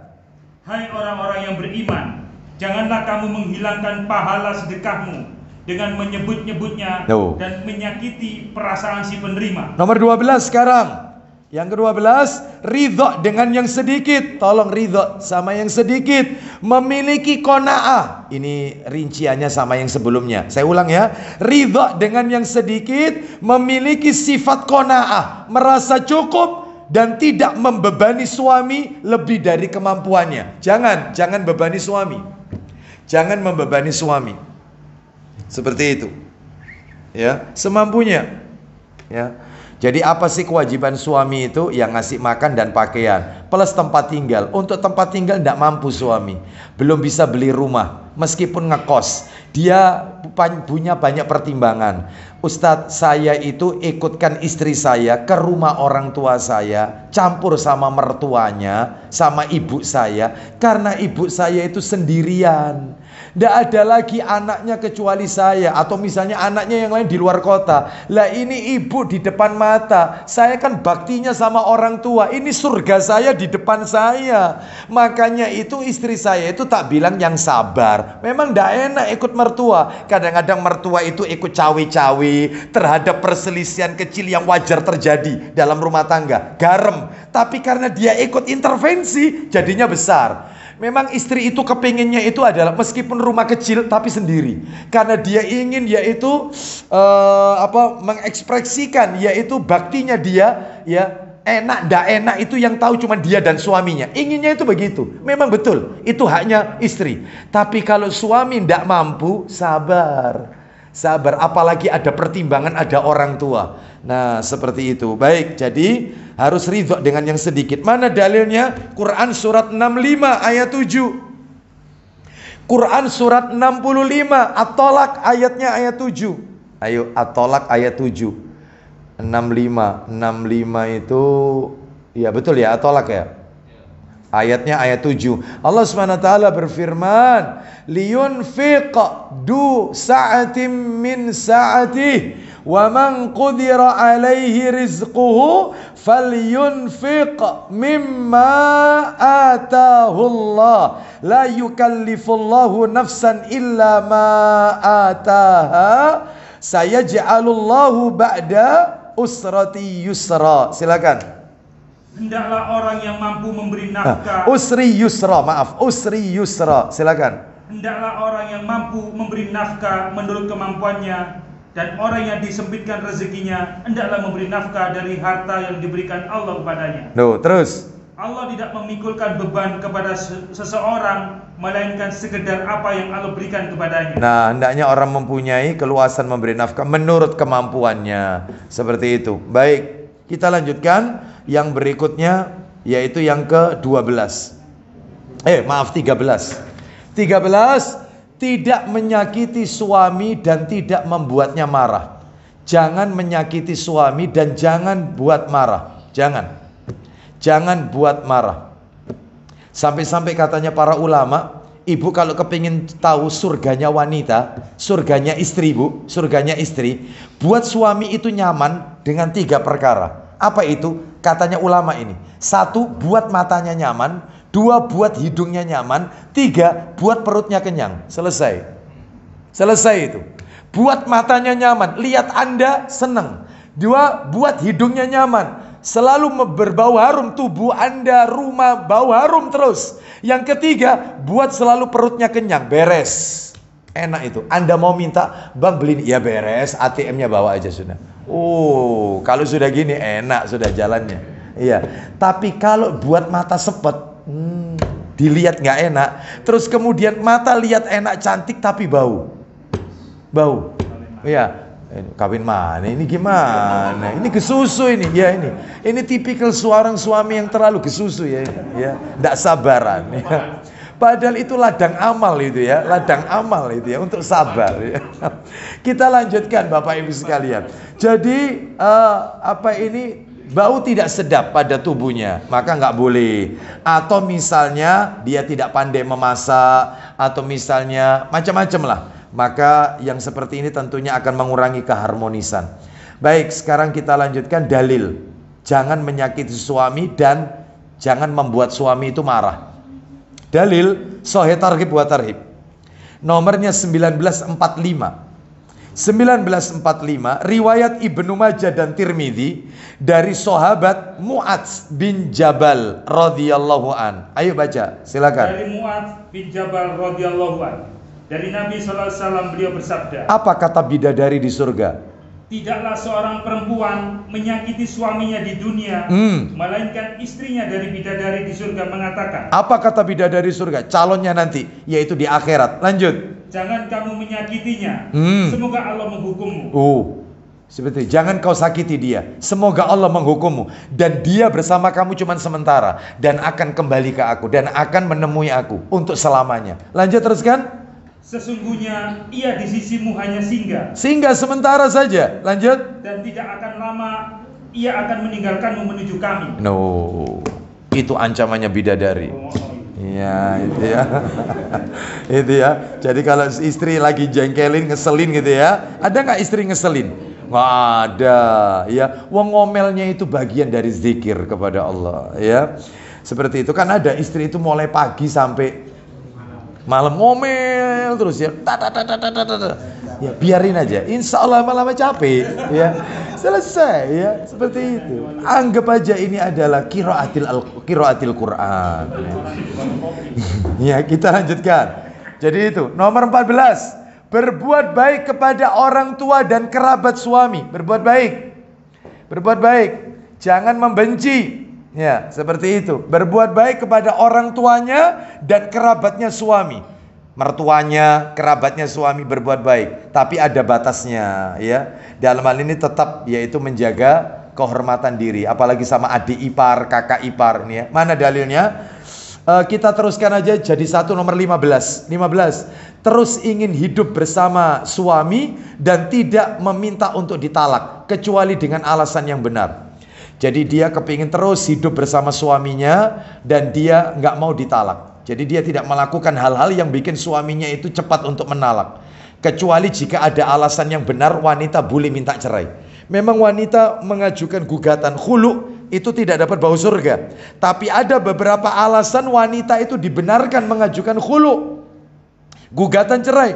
Boleh kalau alasannya dibenarkan oleh syariat. Dan insya Allah yaitu nanti kita akan sampaikan pada kajian-kajian berikutnya. Mana dalilnya? 14 dan 15 yaitu dalam hadis riwayat uh, Abu Dawud, Tirmidzi, Ibnu Majah, Ibnu Hibban dan Al Baihaqi. Nomornya Sahih Targhib wa Tarhib 2018. Ayo. 2018. Baca 2018 dari Sauban. Siapa Sauban ini? Maula Rasulullah sallallahu alaihi wasallam, bekas budak yang dimerdekakan oleh Rasulullah sallallahu alaihi wasallam. Bekas budak, Maula Rasulullah sallallahu alaihi wasallam. 2018. Ayo. 2018. Dari Thauban radhiyallahu an dari Nabi sallallahu alaihi wasallam dia bersabda, Hmm. perempuan mana saja yang meminta kepada suaminya untuk menceraikannya tanpa satu alasan pun, Hmm. maka aroma surga haram untuknya. Nah, seperti itu ya. Maka dalam hal ini tidak diperbolehkan termasuk yaitu uh, hulu ini ya, masuk di dalamnya ini hulu, gugat suaminya kecuali alasan yang dibenarkan. Kita lanjutkan Bapak Ibu 16. 16. Terakhir penutup 16. Berkabung, bukan bergabung, berkabung. Ketika meninggalnya suami selama 4 bulan 10 hari, menjalani masa iddah. Wanita menjalani masa iddah kalau suaminya meninggal itu adalah bentuk baktinya istri yang terakhir itu sudah. Terakhir. Makanya tolong istri harus sabar di rumah terus selama 4 bulan. Tidak berhias, tidak boleh pakai celak, tidak boleh nerima tamu laki-laki, ya, tidak boleh berhias, tidak boleh pakai parfum. Ya, di rumah 4 bulan 10 hari itu baktinya istri terakhir. Tapi mohon maaf masalah idah ini kadang-kadang tidak diperhatikan. Wong suami meninggal, dia ikut takziah kok. Dia ikut anu kok ke kuburan kok. Dia ikut yaitu uh, apa ini bersama iringan. Padahal dia harus di rumah. Dia harus ada di rumah. Loh Ustadz lah kalau wanita itu keluar supaya tidak ingat suaminya terus dia itu ingin pindah ke rumah orang tuanya supaya terhibur boleh boleh nggak apa-apa lah kalau dia kerja sebab tidak ada yang memberikan nafkah kepada dia sedangkan dia ida apakah boleh boleh ada syaratnya tapi apa syaratnya yaitu dia masuk dan pulang kerja sesuai dengan waktunya tidak boleh lebih dari itu Ya, jadi masuk kerja jam berapa, pulang kerja jam berapa. Itu yang pertama. Yang kedua, dia menghindarkan yaitu menghindari diri dari wangi-wangian. Yang ketiga, jangan yaitu berhias berlebihan. Yang keempat, yaitu menghindarkan diri terlalu sering kontak dengan laki-laki yang bukan mahram. Kalau sesama wanita boleh. Terus kemudian yang kelima, setelah bekerja nggak boleh mampir ke mana-mana, langsung pulang ke rumah untuk ngasih makan anaknya. Sebab kalau tidak keluar, nggak ada yang ngasih makan. Paman-pamannya nggak ada, nggak ada yang peduli. Maka wanita ida ini boleh kerja.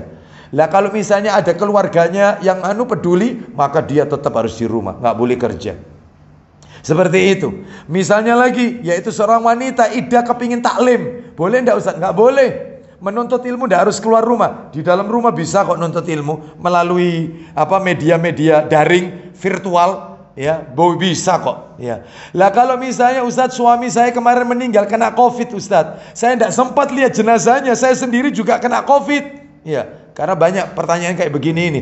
Saya tidak tahu suami saya itu ya apa itu. Sampai dimakamkan baru saya dikabari suamimu sudah dimakamkan. Saya tidak nyolati saya tidak tahu wajahnya yang terakhir karena saya juga kena covid. Lah sekarang ini Ustadz saya sudah bebas dari covid, kepingin jenguk ke kuburannya ziarah. Apa boleh? Sudah selesai enggak idahnya? Ya belum, selesaikan dulu. Dan itu pun kalau ziarah tidak harus masuk kuburan. Syaratnya untuk wanita ziarah itu ketat.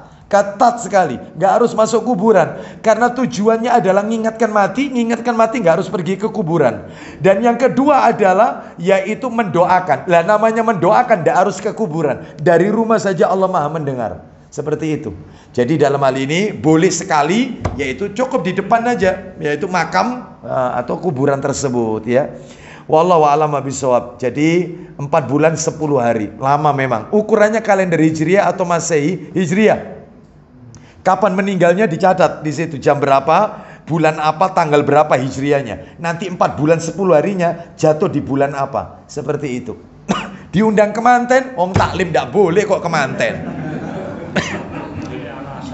taklim ndak boleh kok pergi kemanten itu loh. Walimah nggak boleh. Ya seperti itu. Baik, kita lanjutkan sekarang Bapak Ibu materi nomor tiga. Sebelum materi nomor tiga, saya tegaskan lagi supaya kajian sore hari ini berimbang. Nantikan bahasan mengenai kewajiban suami yang menjadi hak-haknya istri pada kajian berikutnya. Semoga Allah memudahkan kita semua, gitu ya, supaya berimbang. Nantikan episode berikutnya, ya. Hati-hati, jok ngilang ya, ngilang ya. Enak banget hari ini datang, bulan depan nggak datang ya. Sungguhan tak tilpuni satu-satu. ya, dari depan ya. Nomor tiga, hukum nusyuz. Loh, mana? Oh ida, yang ida. Ida dalilnya Al-Baqarah 4 bulan 10 hari Al-Baqarah 234 Al-Baqarah 234 Idanya 10 4 bulan 10 hari Tapi kalau wanita hamil ya idahnya sampai melahirkan. Kasihan kan, baru hamil satu bulan suaminya meninggal. Ya delapan bulan idahnya. Sampai anak itu lahir. Kenapa? Ibu-ibu kenapa? Baik. Baik, punya acara sendiri ibu-ibu. Kita lanjutkan hukum nusyuz. Hukum nusyuz. Sepakat para ulama, nusyus hukumnya haram. Haram. Bahkan termasuk dosa besar. Dosa besar. Jadi istri tidak mempedulikan nasihat, maka suami boleh memberikan hukuman Lah setiap dosa yang ada hukumannya itu pasti dosa besar. Mencuri dosa besar karena ada hukuman potong tangan. Zina dosa besar karena kalau yang zina itu bujang dicambuk 100 kali. Kalau sudah pernah nikah dirajam. Makanya zina dosa besar. Setiap dosa yang pelakunya diancam dengan had hukuman, ada hukuman dosa besar. Termasuk nusyus, istri durhaka. Apa hukumannya tadi? Anisa ayat 34. Pukullah mereka. Suruh mukul. Makanya sekarang ini saya akan jelaskan rincian teknisnya. Kalau terkena itu memiliki istri durhaka. Dan cara terapinya mengobatinya. Baik, jadi kita lihat dulu hukumnya. Hukumnya dosa besar karena ada hukuman. Apa hukumannya? Ayo diulang lagi Pak Didi. Diulang lagi ayatnya. Ayo Anisa ayat 34 diulang lagi. Anisa 34 diulang lagi. Mulai dari yang tadi ya. Wallati takhafuna nusyuzahunna fa'iduhunna wahjuruhunna fil madhaji'i wadribuhunna fa in ata'nakum fala tabaghu alaihinna sabila innallaha kana aliyan kabira silakan wanita-wanita yang kamu khawatirkan nususnya maka maka menasihatilah mereka. stop nasihatilah mereka. Nomor satu diingat-ingat. Cara ngobatinya satu menasehati mereka. Nanti rinciannya nanti rinciannya. Sekarang saya jelaskan dulu aja satu persatunya. Nomor dua kalau dinasehati tidak bisa Pak Didi. Dan pisahkanlah mereka di tempat tidur mereka. Loh pisah ranjang. Nomor dua. Tapi tetap satu rumah. Tetap cuman beda kamar. Seperti itu Ya, beda kamar. Misalnya suami eh istri di dalam kamar, suami tidur di dapur misalnya. Kok enak? Ya, misalnya itu kamarnya satu Bapak Ibu. Iya, ngekos ini. Kita lanjutkan nomor dua. Nomor tiga, hukumannya dan pukullah mereka. Loh, pukullah. Ada kata-kata pukullah. Ada tiga tahapannya. Diingat-ingat. Dinasehati. Dinasehati tidak bisa, maka dihajar. Hajar itu diboikot pisah tempat tidur tapi tetap satu atap, satu rumah. Seperti itu. Terus yang nomor tiga, pukullah. Nah, nanti teknisnya gimana memukul itu? Berapa kali mukul itu berapa kali? Ada hadisnya, dalilnya ada. Itu ya. Cara mukulnya gimana? Itu ada. Nanti kita jelaskan. Ya, baik. Sekarang kita masuk materi terakhir penutup yang nomor empat, yaitu mengobati istri nusyuz. Panjenengan sudah mencatat, bahkan sudah dihafal. Caranya kalau berhadapan dengan istri durhaka ada tiga tadi. Baik, sekarang teknis-teknisnya.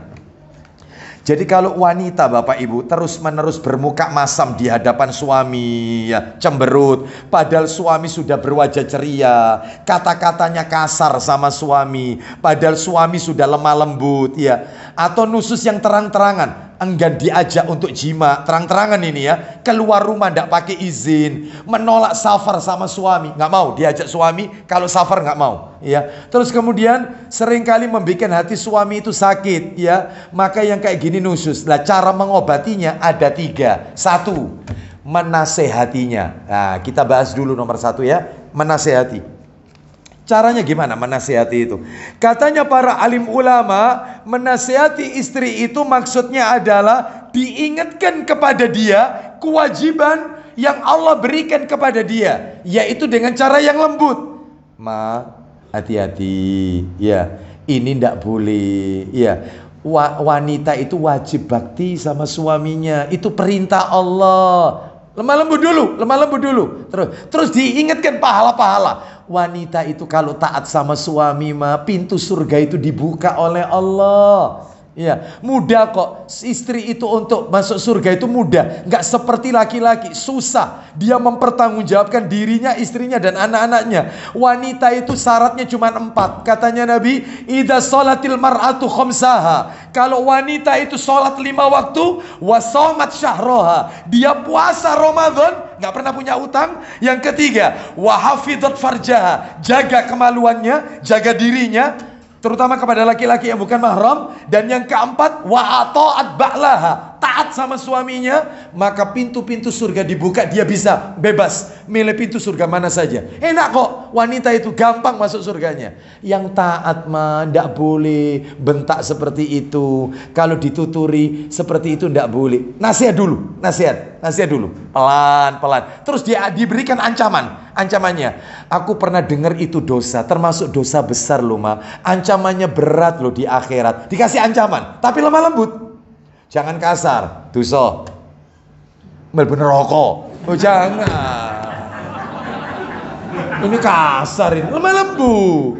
Lemah lembut, nasihati dulu pelan-pelan. Itu loh, pelan-pelan ya. Tahapannya begitu Bapak Ibu, tahapannya itu gitu. Ini perintah ini. Tahap, kenapa? Kata tulungi. Bapak Ibu sekalian ya.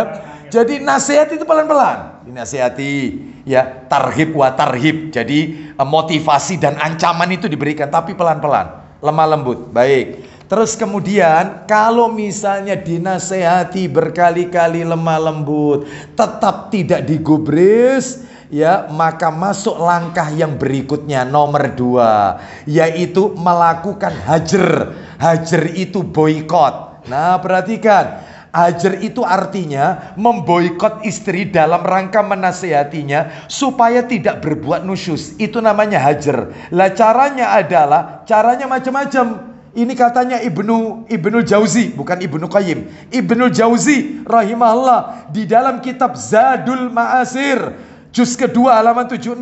Cara menghajarnya itu, perhatikan ya, teknisnya memboikot istri. Satu, tidak ngajak hubungan intim, terutama pada saat istri butuh. Jadi pada saat dia butuh kepada kita, tunjukkan kita nggak butuh sama dia. Tunjukkan, itu caranya menghajar. Ya, sudah sudah kamu tidur di depan aja. Lu ngamuk, ya. Aku salah apa? Lu, kamu tidak tahu kesalahanmu. Salahmu itu begini. Aku sudah nasihati, ternyata kamu masih tetap itu. Ya wis, ya wis, ya wis. Hajar dulu. Ya, ya itu. Terus nomor dua, tidak mengajak bicara, namun tetap maaf. Yang cara kedua ini bisa di, diambil boleh. Tidak ngajak ngomong meskipun tetap berhubungan intim. Tapi dia sedikit bicara. Pasti istrinya tanya, kamu kenapa kok jadi pendiam? Kok kok kayak bia, kayak biasanya? Ya, seperti itu. Nggak biasanya kamu seperti ini. Aku salah apa? Mesti tanya dia. Ya, meskipun suaminya masih diminta istrinya karena dia butuh, dia penuhi kebutuhan istrinya. Tetapi dia tidak ngajak bicara. Atau cara ketiga, mengeluarkan kata-kata yang menyakiti istri saat diranjang. Saat diranjang. Pada saat akan berhubungan intim, dia katakan keluarkan kata-kata yang bikin sakit istrinya. Itu bentuk hajarnya. Kata Ibnu Jauzi rahimahullah.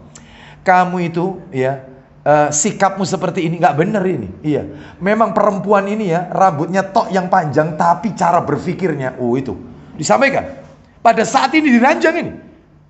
Pada saat itu sehingga tentunya istrinya yaitu nggak punya keinginan lagi untuk melakukan itu dan suaminya nggak ada. Makanya pisah tempat tidur, boykot. Tapi tetap satu rumah. Itu kata Ibnu Jauzi rahimahullah. Ini cara-caranya. Dan cara mana yang kita pilih? Katanya para ulama, dari cara-cara itu sesuaikan mana yang lebih bermanfaat bagi istri ketika diboikot.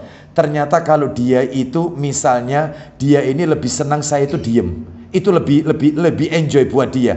Ya, supaya tidak tersakiti hatinya. Ya wis, saya ngambil cara ini aja. Cara ini aja. Saya lebih baik ngambil diam. Atau ternyata aku tambah meneng tambah Iya, tambah kurang ajar. Iya, kok tambah anu menjadi-jadi. Oh, berarti ya sudah, berarti dia ini mintanya pisah ranjang, pisah tempat tidur. Cara ini yang efektif, yaitu diambil, nggak apa-apa. Jadi sesuaikan aja dengan kondisi gimana. Lihat kondisi istri. Faham ya Bapak Ibu sekalian ya, bisa difahami ya. Nah, tapi ada catatan. Ada catatan, yaitu catatan penting ini. Tidak boleh suami memboikot istri, melainkan di rumah. Di rumah ini, nggak boleh. Mana dalilnya? Dalilnya adalah hadis Abu Dawud. Saya bacakan aja. Nomornya 2142. 2142. Katanya Nabi, maaf ini, perhatikan. Wala tadribil wajaha. Jangan engkau memukul istrimu di wajahnya. Jangan ditampar, nggak boleh. Wala tuqabbih. Jangan pula menjelek-jelekkan, ya. Wala tahjur. Jangan melakukan hajar illa fil bait kecuali di dalam rumah. Jadi di boykotnya itu masih dalam satu rumah. Nah, seperti itu. Adapun para ulama Nah, ini ya, para alim ulama memberikan keterangan kalau suami memilih cara menghajarnya tidak mau ngomong, wis daripada pisah tempat tidur, ya daripada nanti dia tambah anu marah ya mending saya tidak banyak ngomong sudah saya nggak nggak biasanya ngomong sak perlunya saja nah kalau memang suami itu memilih langkah ini nggak mau ngajak ngomong istrinya Katanya ulama ditambahi sesuai hadis Nabi tidak boleh mendiamkan saudara kita lebih dari tiga hari. Khusus untuk yang tidak mau ngajak ngomong istrinya karena dia ingin menghajar jangan lebih dari tiga hari. Jangan. Jadi jotaan atau mangkel itu nggak boleh lebih dari tiga hari. Nggak boleh. Seperti itu. Mana itu dalilnya? Sahih Muslim. Buka Pak Didi. Sahih Muslim. Nomor 2190. 2190. Jadi kalau suami lebih memilih yaitu nggak mau ngajak ngomong istrinya, tolong jangan lebih dari tiga hari. Dihitung. Hari ini hari pertama, besok hari kedua, terakhir besok lusa. Selesai. Hari berikutnya normal kembali. Tapi ternyata tetap kelakuannya berarti cari cara yang lain, yaitu pisah tempat tidur, tapi tetap satu rumah. Bisa difahami Bapak Ibu sekalian ya? Ayo eh, dibaca 2190. Ayo. 2190. Ayo dari Abu Ayyub Al Ansari radhiyallahu an. Ya. Katanya Rasulullah SAW bersabda. Wala yahillu li muslimin an yahjura akhahu fawqa salasi layalin. Silakan. Tidak halal bagi seorang muslim tidak bersapaan dengan saudaranya sesama muslim hmm. lebih dari tiga malam. Nggak boleh ya saling nggak bersapaan itu lebih dari tiga malam nggak boleh batas akhir adalah tiga hari itu terus kemudian mungkin bapak ibu bertanya Ustadz di boykot itu berapa lama pisah tempat tidur katanya para ulama menurut madhab Hanafi Syafi'i dan Hanabila ditetapkan sampai istri itu kembali taat jadi kalau dia sudah taat sudah luluh hatinya ya ya aku salah Aku janji tidak akan ngulangi. Maka tolong bapak-bapak, maaf bapak-bapak, jangan mencari-cari kesalahan yang lain. Tolong. Berarti dia sudah kembali taat. Maka tolong jangan dihajar terus-menerus. Jangan. Jangan cari-cari kesalahan. Iya. Baik, sekarang kita lanjutkan. Kalau misalnya di boykot masih tetap nambeng, sudah pisah tempat tidur, tidak diajak ngomong, tetap seperti itu. Langkah terakhir memukul istri.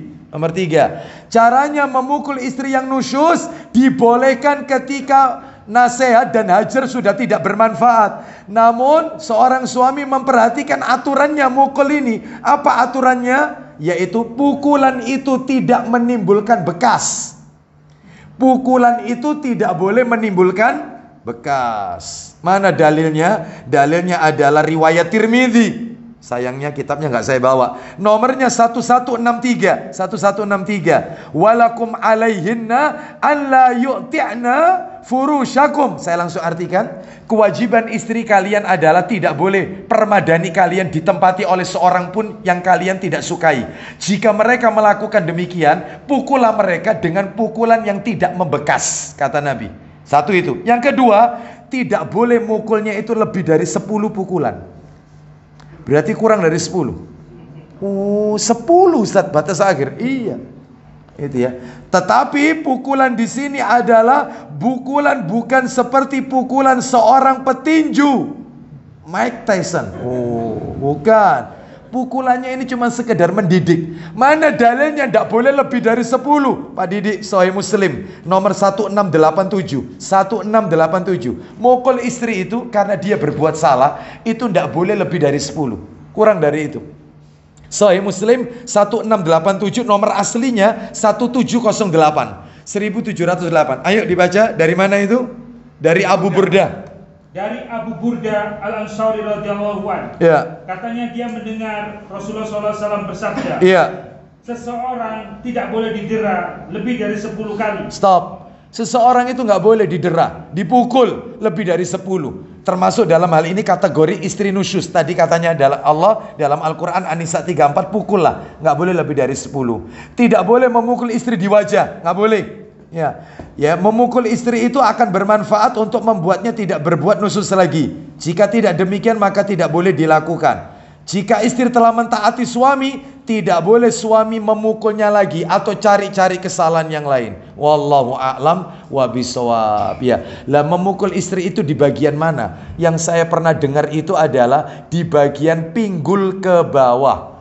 Tempatnya tiga. Tempatnya tiga, pinggul ke bawah tiga. Satu maaf pantatnya, dua betisnya, tiga telapak kakinya. Itu pun pukulan yang tidak sakit dan tidak menimbulkan bekas. Mukulnya gimana itu Ustaz? Mukul gemes. Ya nggak boleh ya, ya itu. Nggak boleh bekas. Nggak boleh. Jangan pinggul ke atas jangan. Menampar ya mukul badannya ya menarik rambutnya. Nggak boleh nggak boleh itu ke bawah dan itu tempatnya tiga. Silakan mau dipilih yang mana. Itu ya. Wallahu alam. Wa demikian yang bisa kami sampaikan. Semoga sedikit menjadi tambahan ilmu yang bermanfaat. Mudah-mudahan Allah jadikan rumah tangga kita sakinah mawaddah warahmah fid dini wa dunya wal akhirah. Mudah-mudahan Allah berikan kepada kita pasangan hidup pasangan hidup yang saleh dan salihah. Anak keturunan saleh salihah rumah tangga yang mawaddah warahmah barokah dari Allah Azza wa Jal. Demikian. Ada yang bertanya? Jelas semuanya ya. Kita tutup dengan kafaratul majelis. وصلى الله على نبينا وعلى آله وصحبه وسلم. سبحانك اللهم وبحمدك. أشهد أن لا إله إلا أنت. أستغفرك وأتوب إليك. وآخر دعوانا أن الحمد لله رب العالمين. السلام عليكم ورحمة الله وبركاته.